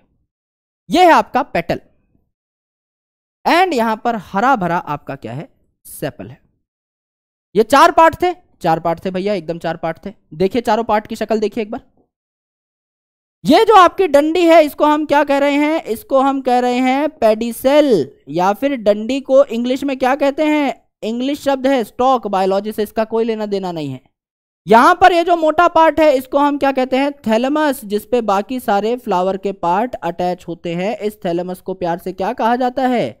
रिसेप्टेकल भी कहा जाता है, यानी कि ए, एक प्लेटफॉर्म की तरह काम कर रहा है, जिसके ऊपर बाकी सारी चीज़ें पाई जाएँगी। रिसेप्टेकल मतलब रिसेप्शन यानी प्लेटफॉर्म जिसके ऊपर बाकी सारी चीज़ें पाई जाएँगी। यहाँ पर अगर आप देखें तो सबसे बाहर की साइड क्या होगा आपका? सेपल्स हरे भरे सेपल्स इसके अंदर के साइड क्या होंगे आपके? पेटल्स कलरफुल पेटल्स इसके और अंदर की साइड क्या होंगे आपके? Androecium, male androecium. और सबसे अंदर की साइड क्या होंगे? गाइनोशियम फीमेल गाइनोशियम जिनके स्ट्रक्चर के बारे में और डिटेल में चर्चा कर रहे होंगे। यहाँ आपकी नेक्टरीज हो सकती हैं, यानी यहाँ आपका नेक्टर भरा हुआ हो सकता है फ्रूटी भरी हुई हो सकती है, जिसको पीने के लिए भी कई इंसेक्ट आपके फूल के पास आते हैं नेक्टर भी होता है। यह है आपका स्ट्रक्चर ऑफ़ फ्लावर एक चीज़ जो मैं जानबूझ के मिस कर रहा हूँ, क्योंकि मैं आपको उस चीज़ के बारे में बहुत कुछ बताना चाहता हूँ। जो लीफ होती है ना, एक प्लांट पे जो लीफ लगी होती है ना, उस लीफ के बेस पे कई बार छोटे छोटे पत्ते जैसे ही स्ट्रक्चर लगे रहते हैं, जिसको स्टिप्यूल कहा जाता है। सिमिलरली इस फूल की डंडी पे भी कई बार कुछ छोटा सा स्ट्रक्चर लगा हो सकता है। उसका नाम क्या है? उसका नाम क्या हो सकता है मेरे दोस्त? उसका नाम क्या हो सकता है? अगर आपको मॉर्फोलॉजी जरा सी भी याद है, इसका नाम क्या हो सकता है? इसका नाम हो सकता है ब्रैक्ट इसका नाम हो सकता है ब्रैक्ट अगर ये ब्रैक्ट अगर ये लीफ जैसा दिखने वाला ब्रैक्ट सच में हरा भरा है इफ़ ग्रीन अगर ये हरा भरा है तो ये आपका प्रोटेक्टिव भी हो सकता है। जब फूल आपका पूरा डेवलप नहीं होता, कली के फॉर्म में होता है तो ये आपका प्रोटेक्टिव भी हो सकता है। एंड आपका इसके अलावा क्या हो सकता है? प्रोटेक्टिव भी हो सकता है और हरा भरा है तो थोड़ा बहुत फोटोसिंथेसिस भी कर सकता है। लेकिन अगर ये कलरफुल है इफ़ कलरफुल तो इस कलरफुल ब्रैक्ट का क्या काम है मेरे भाई? कलरफुल है रंग बिरंगा है तो इट कैन अट्रैक्ट पॉलिनेटर्स ये इंसेक्ट्स को अट्रैक्ट करने का भी काम कर सकता है। पॉलिनेटर्स को अट्रैक्ट करने का भी काम कर सकता है। यहाँ देखिएगा, ये जो ब्रैक्ट है, अगर कुछ प्लांट्स में पाया जाता है तो उन्हें क्या कहा जाता है? ब्रैक्टिएट ऐसे प्लांट जिनमें ब्रैक्ट पाया जाता है उन्हें ब्रैक्टिएट कहा जाता है बी आर से रिप्रेजेंट करते हैं। अगर ब्रैक्ट प्रेजेंट है अगर ब्रैक्ट प्रेजेंट है तो प्लांट को ब्रैक्टिएट कहा जाएगा। और अगर ब्रैक्ट एबसेंट है तो इसको क्या कहा जाएगा? ई e, एलिमिनेट हो चुका है। Bract ebracteate. यानी एलिमिनेट हो चुका है ई फॉर एलिमिनेट हो चुका है ब्रैक्ट बी आर तो ई ब्रैक्टिएट कहा जाएगा। सर कुछ ऐसा बता दीजिए रामबाण, कि मॉर्फोलॉजी भी याद हो जाए। अभी लो भाई मैप देखना पड़ेगा बस। सर ये क्या है? अगर आप याद करना चाहते हैं कि कौन कौन से प्लांट ब्रैक्टिएट होते हैं तो मैप देख लीजिए। है ना? सर ये क्या है? सी का मतलब है, एस आ रहा है इसके अंदर तो फैमिली सोलेनेसी आलू बैंगन की फैमिली फैमिली सोलेनेसी हमारे मॉर्फोलॉजी का पार्ट और तीन नई फैमिलीज़ हमारे सिलेबस में ऐड हुई हैं. एम का मतलब मालवेसी जिसमें आता है हमारा मेन माल, जो हमें बहुत पसंद है, भिंडी. ए का मतलब एस्टेरेसी जिसमें आता है आपका सनफ्लावर और ससुराल गेंदा फूल, गेंदा. और आपका पी, जिसमें आता है अनाज, गेहूँ, चावल, बाजरा, मक्का, पोएसी, हमारी खाने पीने वाली फैमिली। इन चारों फैमिलीज़ में ब्रैक्ट पाया जाता है, बाकी फैमिलीज़ में ब्रैक्ट नहीं पाया जाता है। सी मैप से याद करो, टफ से टफ क्वेश्चन आए, झंड कर देंगे भाई क्वेश्चन को, है ना? कितना भी टफ क्वेश्चन आया, बाकी बच्चा ये क्वेश्चन नहीं बना पाएगा। आप पूछोगे कौन सी कौन सी फैमिली में ब्रैक्ट था, गारंटी देता हूँ नहीं बना पाएगा। ये क्वेश्चन हमने क्विज में कराया था, है ना? कुछ 11 बारह परसेंट के आसपास रिज़ल्ट आया था, क्योंकि आइडिया ही नहीं है। लेकिन मेरे दोस्त, यहाँ पर सी मैप अगर मैप देख लिया तो ब्रैक्टिएट प्लांट्स एकदम से याद हो जाएँगे। करेक्ट यहाँ तक सबको, सब कुछ पता है दोस्त, कर दें छुट्टी। अब मैं आपको कुछ और दिखाता हूँ। है ना? ये हम लोग कल कर लेंगे, कोई बहुत बड़ी दिक्कत नहीं है, क्योंकि अगले लेक्चर में बताना ही पड़ता। तो ये हम कल कर लेंगे। अब मैं क्या करवाता हूँ? जैसे मैंने आपको पूरा का पूरा लेक्चर हाथ से लिख करके पढ़ाया। करेक्ट अब मैंने हाथ से लिख करके लेक्चर पढ़ाया, अब मैं आपको एनसीआरटी e का वर्ड टू वर्ड दोबारा रीड कराऊँगा। जैसे साइंटिस्ट है तो इनसे क्वेश्चन नहीं बनता तो आप चाहें तो कर सकते हैं, वरना मैं भी करा दूँगा। आइए यहाँ पर चर्चा करते हैं एनसीआरटी e की। हम लोग बहुत लक्की हैं कि प्लांट आपके सेक्सुअली रिप्रोड्यूस करते हैं। क्यों भैया? उसमें हम लोग कैसे लक्की हैं? क्योंकि प्लांट के सेक्सुअल रिप्रोडक्शन के कंप्लीट होने के लिए उसने कई जुगाड़ लगा रखे हैं, जैसे कि इंसेक्ट को अट्रैक्ट करने के लिए सेंट और परफ्यूम बनाता है तो हमारे लिए भी अच्छी बात है, हमें भी खुशबू मिलती है। प्लांट अपने आप को रंग बिरंगा करते हैं, फूल अपने आप को रंग बिरंगा करते हैं, जिससे इंसेक्ट उन पे आके बैठे। हमारी आँखों के लिए भी ये बहुत अच्छी चीज़ है, हम भी बहुत खूबसूरत नजारे देखते हैं, है ना? और आपके बहुत सारे फूल फुलवाड़ी बनाते हैं भैया मिलजुल कर इकट्ठे हो जाते हैं किन इन्फ्लोरेसेंस में पाए जाते हैं तो इंसेक्ट इनको देख के खुश होते हैं और हम भी तो ये सारे के सारे एक्चुअल में टूल्स हैं एड्स हैं सेक्सुअल रिप्रोडक्शन की। जितने भी फ्लावरिंग प्लांट थे all flowering plants they are showing sexual reproduction लेकिन मैंने आपको बताया ये वेजिटेटिवली भी रिप्रोड्यूस कर सकते हैं। जितने भी फ्लावर हैं, ये अपने आप को अडेप्ट भी करते हैं। Right right? अपने आप को अडेप्ट भी करते हैं। क्यों? जिससे कि ये बुरी से बुरी परिस्थिति में भी एंड प्रोडक्ट बना सकें सेक्सुअल रिप्रोडक्शन का, जो कि क्या है? आपका फ्रूट एंड सीड यानी फ्रूट बना रहे हैं ये और इसके अंदर क्या पाए जाएँगे? आपके सीड पाए जाएँगे, ये भी बन रहे हैं। एंजियोस्पर्म्स अगर आप देखें, यानी फ्लावरिंग प्लांट्स अगर आप देखें तो इनके साथ हमारी रिलेशनशिप बहुत पुरानी है। फूल जो हैं, बहुत खूबसूरत होते हैं एस्थेटिक प्लेजर मिलता है इनको देख करके, घर पे सजावट के लिए लगाए जा सकते हैं। है ना? समारोह में कोई आ रहा है, उसके ऊपर बरसाए जा सकते हैं रिलीजियस और कल्चरल वैल्यू है, भगवान को भी चढ़ाए जा सकते हैं। अपना किसी के प्रति प्यार दिखाना हो अफेक्शन यानी दोस्ती यारी दिखानी हो, खुश हैं या दुखी हैं ग्रीफ और मॉर्निंग के टाइम पर भी फूल का इस्तेमाल कर सकते हैं। टू अ बायोलॉजिस्ट हम सब के लिए फूल क्या है दोस्त? हम सब के लिए they are morphological and embryological marvels ये कुदरत का करिश्मा है, जो कि बहुत खूबसूरत है मॉर्फोलॉजिकली दिखने में एंड एम्ब्रियोलॉजिकली बहुत ही ज़्यादा बेहतरीन है। इसमें एम्ब्रोलॉजिकल डेवलपमेंट होती है एंड सेक्सुअल रिप्रोडक्शन तो होगी ही। यह है आपका एक फूल, जहाँ पर यह फीमेल पार्ट है गाइनोशियम इसका स्टिग्मा स्टाइल ओवरी आपको पता होगा, नहीं पता है बता देता हूँ। सबसे ऊपर वाला पार्ट है स्टिग्मा जिसपे पॉलन आकर के लैंड करता है। ये जो ट्यूब है, ये है स्टाइल और नीचे का जो सबसे मोटा पार्ट है यह ओवरी इसके बारे में अगले लेक्चर में बहुत डिटेल में पढ़ेंगे। ये जो आपके एंड्रोशियम है, इनमें होते हैं कई स्टेमेंस ये जो मेल पार्ट दिख रहे हैं, कई सारे हैं, ये स्टेमेंस है। इसमें आपका ऊपर वाला पार्ट है गोल मटोल ये है एंथर, और ये लंबी डंडी जो है, यह है फिलामेंट। पीछे आपको रंग बिरंगी पंखुड़ी दिखाई दे रही है, पेटल, और ये है आपका सेपल, आपका हरा भरा पत्ता। और ये वो पार्ट है जहाँ पे आपका नेक्टर भरा हुआ हो सकता है। ये वो पार्ट है जहाँ पे आपका नेक्टर भरा हुआ हो सकता है, यानी फ्रूटी भरी हुई हो सकती है। करेक्ट? अब देखिए। ये हम लोगों ने नहीं पढ़ा है, इसको हम लोग, नहीं नहीं, यहाँ पढ़ लेते हैं। जब फ्लावर आता है एक प्लांट में, उससे पहले डिसीज़न बनाना पड़ता है एक प्लांट को कि फ्लावरिंग करनी भी है या नहीं। एक बार डिसीज़न बन जाए तो हार्मोनल चेंजेस आना शुरू हो जाते हैं। राइट तो हार्मोनल एंड स्ट्रक्चरल चेंजेस आ जाते हैं आपकी जो अपेक्स है। आपका जो शूट एपिकल मेरिस्टम है, उसके सेल फ्लोरल मेरिस्टम में कन्वर्ट होते हैं और आपका पहले बड बनता है और फिर आपका फूल बन जाता है, कली से फूल बन जाता है। तो आपका डिफ्रेंशिएशन हो जाता है आपका इस फ्लोरल मेरिस्टम में, यानी उसके सेल्स अलग अलग चीज़ें बनाना स्टार्ट करते हैं। पहले फ्लोरल बड यानी कली बनाते हैं और उसके बाद पूरा फूल बना लेते हैं। और इस फूल में मेल फीमेल पार्ट होते हैं एंड्रोशम गाइनोशम जो सेक्सुअल रिप्रोडक्शन में हेल्प करते हैं। करेक्ट यहाँ तक आज का पूरा का पूरा काम हो गया।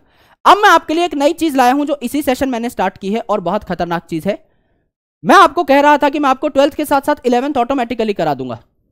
जैसे मैंने आपको अभी family Malvaceae, Asteraceae, family Poaceae और सोलेनेसी का एक कैरेक्टर बताया कि इनमें ब्रैक्ट होता है।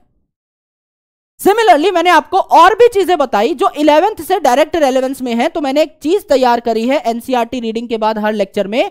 एनसीआरटी लिंकर e यानी आज जो हमने कॉन्सेप्ट पढ़ा, वो कहाँ कहाँ किस किस कॉन्सेप्ट से मिल रहा है, ये भी हम सीखेंगे।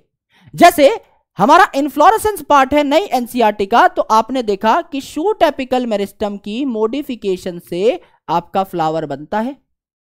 तो आपकी शूट एपिकल मेरिस्टम किसमें कन्वर्ट हो रही थी? फ्लोरल मेरिस्टम में कन्वर्ट हो रही थी। अलग अलग जो नोड थे, इन पे फ्लावर का अलग अलग पार्ट बन रहा था। है ना? तो different kind of flower part या अपेंडेजेस आपके अलग अलग नोड पे बन रहे थे। इन नोड्स को हमें पास लाना था, यानी इंटर नोड्स को हमें क्या करना था? छोटा करना था एक्सिस को हमें कंडेंस करना था, तब जाके फूल के सारे पार्ट साथ साथ आएँगे। तो ट्वेल्थ की एनसीआरटी में जो पार्ट है, उसके साथ साथ इलेवेंथ का पार्ट भी हमने कंप्लीट किया। ये सारी बातें ऑलरेडी नोट्स में है। यानी जब आप इलेवेंथ रिवाइज करने जाएँगे, आपको कुछ नया नहीं लगेगा। सिमिलरली आगे देखिए।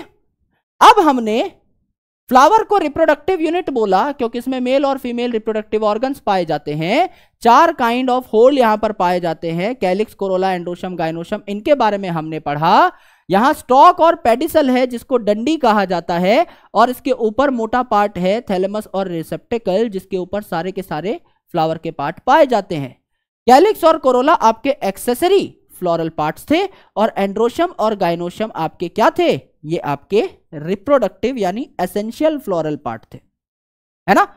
और कुछ ऐसे प्लांट्स जैसे कि लिली जिसमें कैलिक्स और कोरोला एक जैसे ही होते हैं, इनमें आप फ़र्क नहीं कर सकते, इन्हें आप पेरियंथ कहते हैं। तो कैलिक्स को हमने लिखा के से कोरोला को हमने लिखा सी से। पेरियंथ को हम लोग किससे लिखते हैं? इसको हम लिखते हैं पी से। नई बात पता लगी?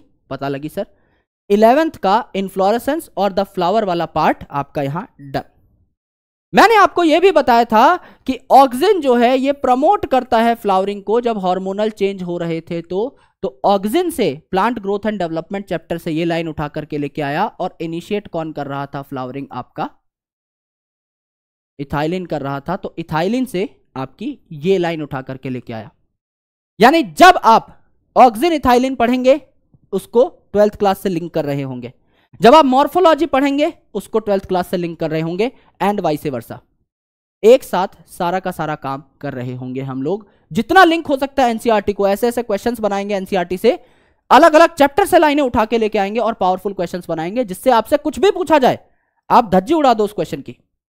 एंड अब टाइम आ गया है पंचायत का। बहुत जल्दी आपको रिलीव कर देंगे। मुश्किल से तीन चार मिनट कुछ क्वेश्चंस हैं, हमारे पास आज पोल नहीं है तो मैं चाहूँगा कि आप चैट सेक्शन में जवाब दें। और जल्दी जल्दी दो तीन मिनट में आपको हम फ्री कर देंगे। फटाफट बताइएगा दोस्त, पहला क्वेश्चन आपका ऑब्जेक्टिव एनसीआरटी पंच का आपकी स्क्रीन के ऊपर है। The end product of sexual reproduction are इतने सवाल करा दूँगा कि इससे बाहर कोई सवाल आएगा ही नहीं, निश्चिंत हो जाओ। जो करा रहा हूँ, वही आपका बहुत ज़्यादा है। इससे ऊपर अगर कुछ करना हो तो आप पंचा मॉड्यूल के सवाल कर सकते हो। फटाफट बताइए। End product of sexual reproduction are end product क्या थे? फ्रूट और सीड फ्रूट भी यहाँ पर है और इसके अंदर क्या होंगे? सीड होंगे। यस फ्लावर तो आपका पहले से पाया जाता है तो both A and B are correct answer D आ रहा है, एकदम आ रहा है। बहुत शानदार। तो अल्टीमेटली आज बहुत छोटी चीज़ पढ़ी है हमने। आधा पेज पढ़ा है एनसीआरटी का उस पर से भी पाँच छह सवाल लेके आया हूँ। जिस दिन बड़ा टॉपिक होगा, दस, बारह, बीस सवाल क्लास में ही कर लिया करेंगे। तो खेल ही खत्म हो जाएगा। घर जाके छुट्टी आराम से फिर फुटबॉल खेलो, है ना? फ्लोरिकल्चर अब एक नई चीज़ सिखाऊँगा। अब यहाँ पर जब मैं आपको कोई सवाल दू ना तो उसकी एक्सप्लेनेशन भी पढ़नी है, अगर आपको ना आए तो। यहाँ पर देखिए एक इंटरेस्टिंग पॉइंट है ना? अगर आपको इसका उत्तर पता है तो पहले ही लिख दीजिए। भाई फ्लोरिकल्चर क्या होता है? नाम में ही आ रहा है फ्लोरी। फ्लावर के चारों अल्फ़ाबेट आ रहे हैं। तो फ्लावर को उगाना, फ्लावर को कल्टीवेट करना इज़ फ्लोरिकल्चर इसके अलावा एक और शब्द आता है जो आपको सुनने में आएगा आगे चल के, हॉर्टिकल्चर। हॉर्टिकल्चर में क्या होता है? आप कोई भी प्लांट उगा रहे हैं, चाहे वो फ्लावरिंग प्लांट हो, उसके फ्लावर की आप खेती कर रहे हैं, आप वेजिटेबल उगा रहे हैं, या उसके फ्रूट जो है, इनको आप कमर्शलाइज कर रहे हैं। अगर सिर्फ़ flower F L O R तो फ्लोरिकल्चर। अगर फ्लावर, वेजिटेबल, फ्रूट सब तो हॉर्टिकल्चर। अब मार्क करिए उत्तर फटाफट। अब तो पता लग गया होगा, फ्लोरिकल्चर क्या है? Flori F L O R F L O R F L O R floriculture क्या हुआ भैया? सिर्फ़ और सिर्फ़ फ्लावर कोई फ्रूट नहीं, कोई सीड नहीं. सिर्फ़ और सिर्फ़ फ्लावर फ्लोरिकल्चर नाम से पता लग रहा है. हॉर्टिकल्चर होता तो क्या क्या होता? अभी नोट्स में ऐड करो फटाफट. सप्लीमेंट करो. दिस इज़ सप्लीमेंटेशन टेक्निक आज वो सारी चीज़ें हम लोग देख रहे होंगे जो हम हमेशा करेंगे. कुछ भी डीपीपी में नया मिले, कुछ भी किसी क्वेश्चन में नया मिले just add it in your notes your notes will become super powerful horticulture add किया? आगे बढ़िए। Match the given option with correct labelling labelling देखो क्या है? छोटा डायग्राम है, मैं आपको बता देता हूँ।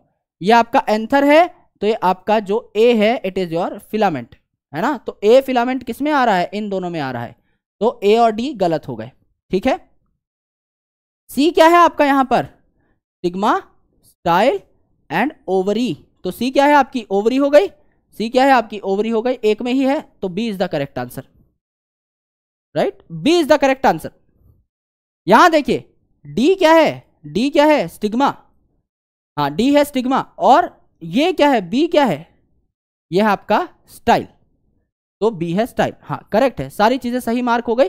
ये है आपका बी जो कि आपका आंसर है. अगला सवाल देखिए. आइडेंटिफाई द इनकरेक्ट स्टेटमेंट ये सवाल बड़े खतरनाक होते हैं. फटाफट मार्क करिए. और मैं कह रहा हूँ, आज ही आपको पढ़ाया है और इसमें कई बच्चे गलती करेंगे. और अपनी गलतियों को साथ साथ नोट करते हुए चलना है। क्या हुआ देखिए भैया? Several hormonal and structural changes hormonal changes होते हैं ऑक्सीनिथाइलिन आते हैं स्ट्रक्चरल चेंजेस या मॉर्फोलॉजिकल चेंजेस होते हैं, जो कि रीडिफ्रेंशिएशन कराते हैं further development of floral primordia में। है ना? गलत! कई लोग बीमार कर रहे हैं। रीडिफ्रेंशिएशन नहीं कराते डिफ्रेंशिएशन कराते हैं। पहली बार मेरिस्टम कोई परमानेंट सेल बना रहा है तो it is differentiation not redifferentiation दूसरी बार डिफ्रेंशिएशन थोड़ी हो रही है। रीडिफ्रेंशिएशन लिख के एक ऐसा क्वेश्चन आपके सामने डाल दिया कि आप सोचोगे उत्तर कुछ और है, लेकिन उत्तर क्या है? ए ऐसे फंसाऊँगा भाई, है ना? आगे चल के क्वेश्चन का स्टैंडर्ड बढ़ता जाएगा तो आपको आइडिया लगेगा। Inflorescence are formed which bear floral buds and then flower पहले आपका कली आती है, फिर फूल आता है तो ये तो सही बात है इनकरेक्ट कहाँ हुआ? In the flower male and female reproductive structures are androecium and gynoecium androecium male है फीमेल गाइनोशम है which will differentiate and develop correct है यानी यहाँ रीडिफ्रेंशिएशन नहीं, सिर्फ़ और सिर्फ़ डिफ्रेंशिएशन आएगा इस एक शब्द से आपकी एनसीआरटी की पढ़ी हुई, पूरी की पूरी लाइन खत्म हो गई। उत्तर इज़ ए करेक्ट उत्तर इज़ ए मार्क किया है हमने? करेक्ट आगे देखिए। Reproductive organ of flower does not comprises reproductive organ इनमें से कौन सा नहीं है? रिप्रोडक्टिव पार्ट कौन सा नहीं है? एंड्रोशियम मेल रिप्रोडक्टिव पार्ट है जो स्टेमेंस का मिलकर बना होता है। है ना? यानी कि आपका यहाँ पर एंथर फिलामेंट होंगे। Gynoecium is the fail female reproductive part तो ये जो आपका टेपल है या पेरियंथ है, ये आपका मेल और फीमेल से रिलेटेड नहीं है। जो आपका पेरियन था ना, लिली के अंदर, जहाँ कैलिक्स और कोरोला एक जैसे होते हैं, उसी को टेपल कहा जाता है। तो उत्तर क्या हो जाएगा? डी हो जाएगा, ये आपका सेपल पेटल का ही भाई है, टेपल। तो ये रिप्रोडक्टिव ऑर्गन नहीं है, ये आपने यहाँ देखा। होमवर्क आपका ये है कि अगर आपके पास मॉड्यूल है तो एक्सरसाइज वन का one, two, three, five question, exercise two का वन क्वेश्चन, क्योंकि हमने आज बहुत ज़्यादा पढ़ाई नहीं करी है, छोटा टॉपिक पढ़ा था और ऑब्जेक्टिव एनसीआरटी पंच में ये जो इनिशियल हेडिंग है, इसी के 10-12 क्वेश्चन है, आप वो भी कर सकते हैं। Right right? यार, मैं जेनुअनली बहुत एक्साइटेड हूँ और, इस बैच को बहुत अच्छे तरीके से हम लोग लीड करने वाले हैं। तो प्लीज़ मेक श्योर कि आप लोग बहुत सीरियस रहें, बहुत सिंसियर रहें, बहुत उम्मीदें हैं मुझे आपसे as a friend as a दोस्त एज अ बड़ा भाई। तो उन चीज़ों को हम लोग बहुत ही प्यार से लेकर के चलेंगे। प्लीज़ मेक श्योर आप बहुत ईमानदार रहें, बहुत ऑनेस्ट रहें, बहुत लॉयल रहें विद योर प्रिपरेशन और इतना मज़ा आएगा आगे कि आप सोच नहीं पाएँगे। चीज़ें बहुत आसान हो रही होंगी, बहुत आराम से आपको बायोलॉजी समझ में आ रही होगी। एफर्टलेस बना देंगे बॉटनी यानी आपको कुछ करना नहीं पड़ेगा, जो क्लास में करा रहा हूँ। उसके बाद जाओ, खेलो, कूदो बॉटनी का टाइम कहीं भी डिवोट करो केमिस्ट्री को दो फिजिक्स को दो that's completely your choice I make sure that you need not need any kind of extra resource for botany other than your brother that's it मेरे अलावा आपको किसी चीज़ की ज़रूरत है ही नहीं।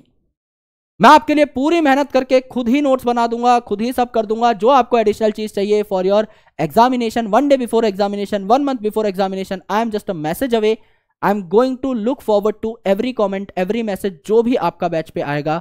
जो भी कंस्ट्रक्टिव क्रिटिसिज्म होगा, वो भी मैं लेने के लिए एकदम तैयार हूँ। I need to do my betterment also. मैं भी अपने आप को बेहतर बनाने पे दिन रात काम करता हूँ। तो मुझे कोई प्रॉब्लम नहीं है अगर आप मुझको कहीं पर भी करेक्ट करते हो या आप मुझे कोई भी ऐसी चीज़ बताते हो जो मुझे और करनी चाहिए। मैं जितना भी सक्षम हूँ, मैं आपके लिए सब कुछ देने के लिए तैयार हूँ and I am very very thankful कि मुझे बैच मिला कि अपने अर्जुनास के साथ I would be spending one more year ये जो जर्नी एक साल की थी वो अब दो साल की हो जाएगी and we will be sharing a great bond for lifetime always जैसा कि हम बाकी जार्विस के साथ शेयर करते हैं तो बहुत ही ज़्यादा अमेजिंग जर्नी होने वाली है। I am supremely excited and I hope कि आप लोग अपना प्यार और अपना भरोसा मुझ पर जताएँगे। और अगर आप मुझसे पहले कभी नहीं पढ़े हैं, मैं सिर्फ़ इतनी ही गुजारिश करूँगा कि give me two three classes time and that's it वहीं पर आपको पता लग जाएगा कि आपका डिसीज़न जो है, वो मैं गलत नहीं होने दूँगा। If you are here if I am here then कुदरत ने यूनिवर्स ने कोई सिनर्जी बनाकर हम लोगों को साथ एक सेम पेडेस्टल पे खड़ा किया है। तो इस मौके को मैं ज़ाया नहीं होने दूँगा। I give my hundred and ten percent to be connected with all of you guys and I am expecting that hundred percent from you also that we can create wonders इस बार का जो रिज़ल्ट आए, वो effortless आए। खुशी से पढ़ेंगे, मौत से पढ़ेंगे, लेकिन रिज़ल्ट ऐसा आएगा कि सब लोगों की आँखें फटी की फटी रह जाएँगी। And I can make that sure है ना? आराम से करेंगे दोस्त, पढ़ाई कोई दिक्कत नहीं है, कोई जल्दबाजी नहीं है। है ना? बहुत प्यार से चलेंगे। खुशी खुशी मज़े मज़े में पढ़ेंगे। है ना? All right every one sorry थोड़ा ज़्यादा टाइम लग गया बिकॉज़ आज हम लोगों ने काफ़ी एक्स्ट्रा बातें भी करी हैं related to our batch commencement लेकिन अब, क्योंकि कल से सिर्फ़ और सिर्फ़ सिलेबस की बातें हो रही होंगी तो थोड़ा आपको टाइमली ही छोड़ दिया जाएगा। वही आपका एक घंटा पैंतालीस मिनट के आसपास की जो क्लास टाइमिंग है, उसी पे आपको छोड़ दिया जाएगा। है ना? राइट और मैं डीजी के नोट्स आपके साथ हैं तो आप ये मत सोचे कि कुछ लिखना पड़ेगा। अगर आप देखें तो आज मैंने जो भी यहाँ पे लिखवाया है ऑलरेडी उसका 99 परसेंट पार्ट मेडीजी के अंदर है। तो मेडीजी बॉटनी सर्च करिए पीडब्ल्यू स्टोर पे अमेजोन पे, और आराम से उसको लेकर के मेन फोकस सुनने पे, समझने पे लगाइए कॉन्सेप्ट को क्वेश्चन सॉल्व करने पे लगाइए। वो बुक इसीलिए लिखी गई है जिससे आपका टाइम बचे, है ना? तो हमेशा थोड़ा थोड़ा टाइम का हम लोग यहाँ पर ध्यान रखेंगे। So thank you so much guys lords of love जय हिंद मैं मिलता हूँ आपसे कल एक और फंटेबुलस सेशन के साथ, जहाँ पर हम अपने सिलेबस को कोर सिलेबस को स्टार्ट कर रहे होंगे। आज तो हमने बहुत बेसिक बातें करी हैं, जनरल बातें करी हैं। कल थोड़ा और डेप्थ में घुसेंगे चीज़ों की और बहुत मज़ेदार कॉन्सेप्ट के साथ हम हमारे सिलेबस को शुरू कर रहे होंगे। तब तक के लिए अपना ख्याल रखिए और पढ़ाई करते रहिए। और आज का सेशन अगर बहुत मज़ेदार लगा तो वीपू sir open the comment section उससे मेरा मोराल बहुत बूस्ट होगा। एंड आप सभी के पॉजिटिव कॉमेंट्स की मुझे बहुत ज़्यादा ज़रूरत है और मुझे इंतज़ार रहेगा। I'll be looking forward to everyone who is supporting तो मिलते हैं आपसे कल। तब तक के लिए शुक्रिया। बाय बाय टेक केयर खुश रहो। आज की क्लास ख़त्म। मौज करो। ये होमवर्क अगर करना है तो कर लेना। अदरवाइज़ कल कर लेंगे हम लोग कल की क्लास के बाद। अभी चिल मारो। आराम से फैमिली को थोड़ा टाइम दो। क्योंकि आगे चल के वक्त थोड़ा और कठिन होने वाला है। हम लोग आपसे थोड़ी ज़्यादा मेहनत की उम्मीद कर रहे होंगे। तो अभी जब तक आपका सिलेबस पेस नहीं पकड़ता, तब तक थोड़ा बहुत फैमिली को टाइम दीजिए और अपने हेल्थ पे भी थोड़ा बहुत गौर फरमाइए। बाद में हम लोग पढ़ाई लिखाई में एकदम डूब जाने वाले हैं। ऑल राइट थैंक यू जय हिंद। बहुत बहुत शुक्रिया। बहुत मज़ा आया क्लास लेकर के। मिलता हूँ आपसे कल। Thank you bye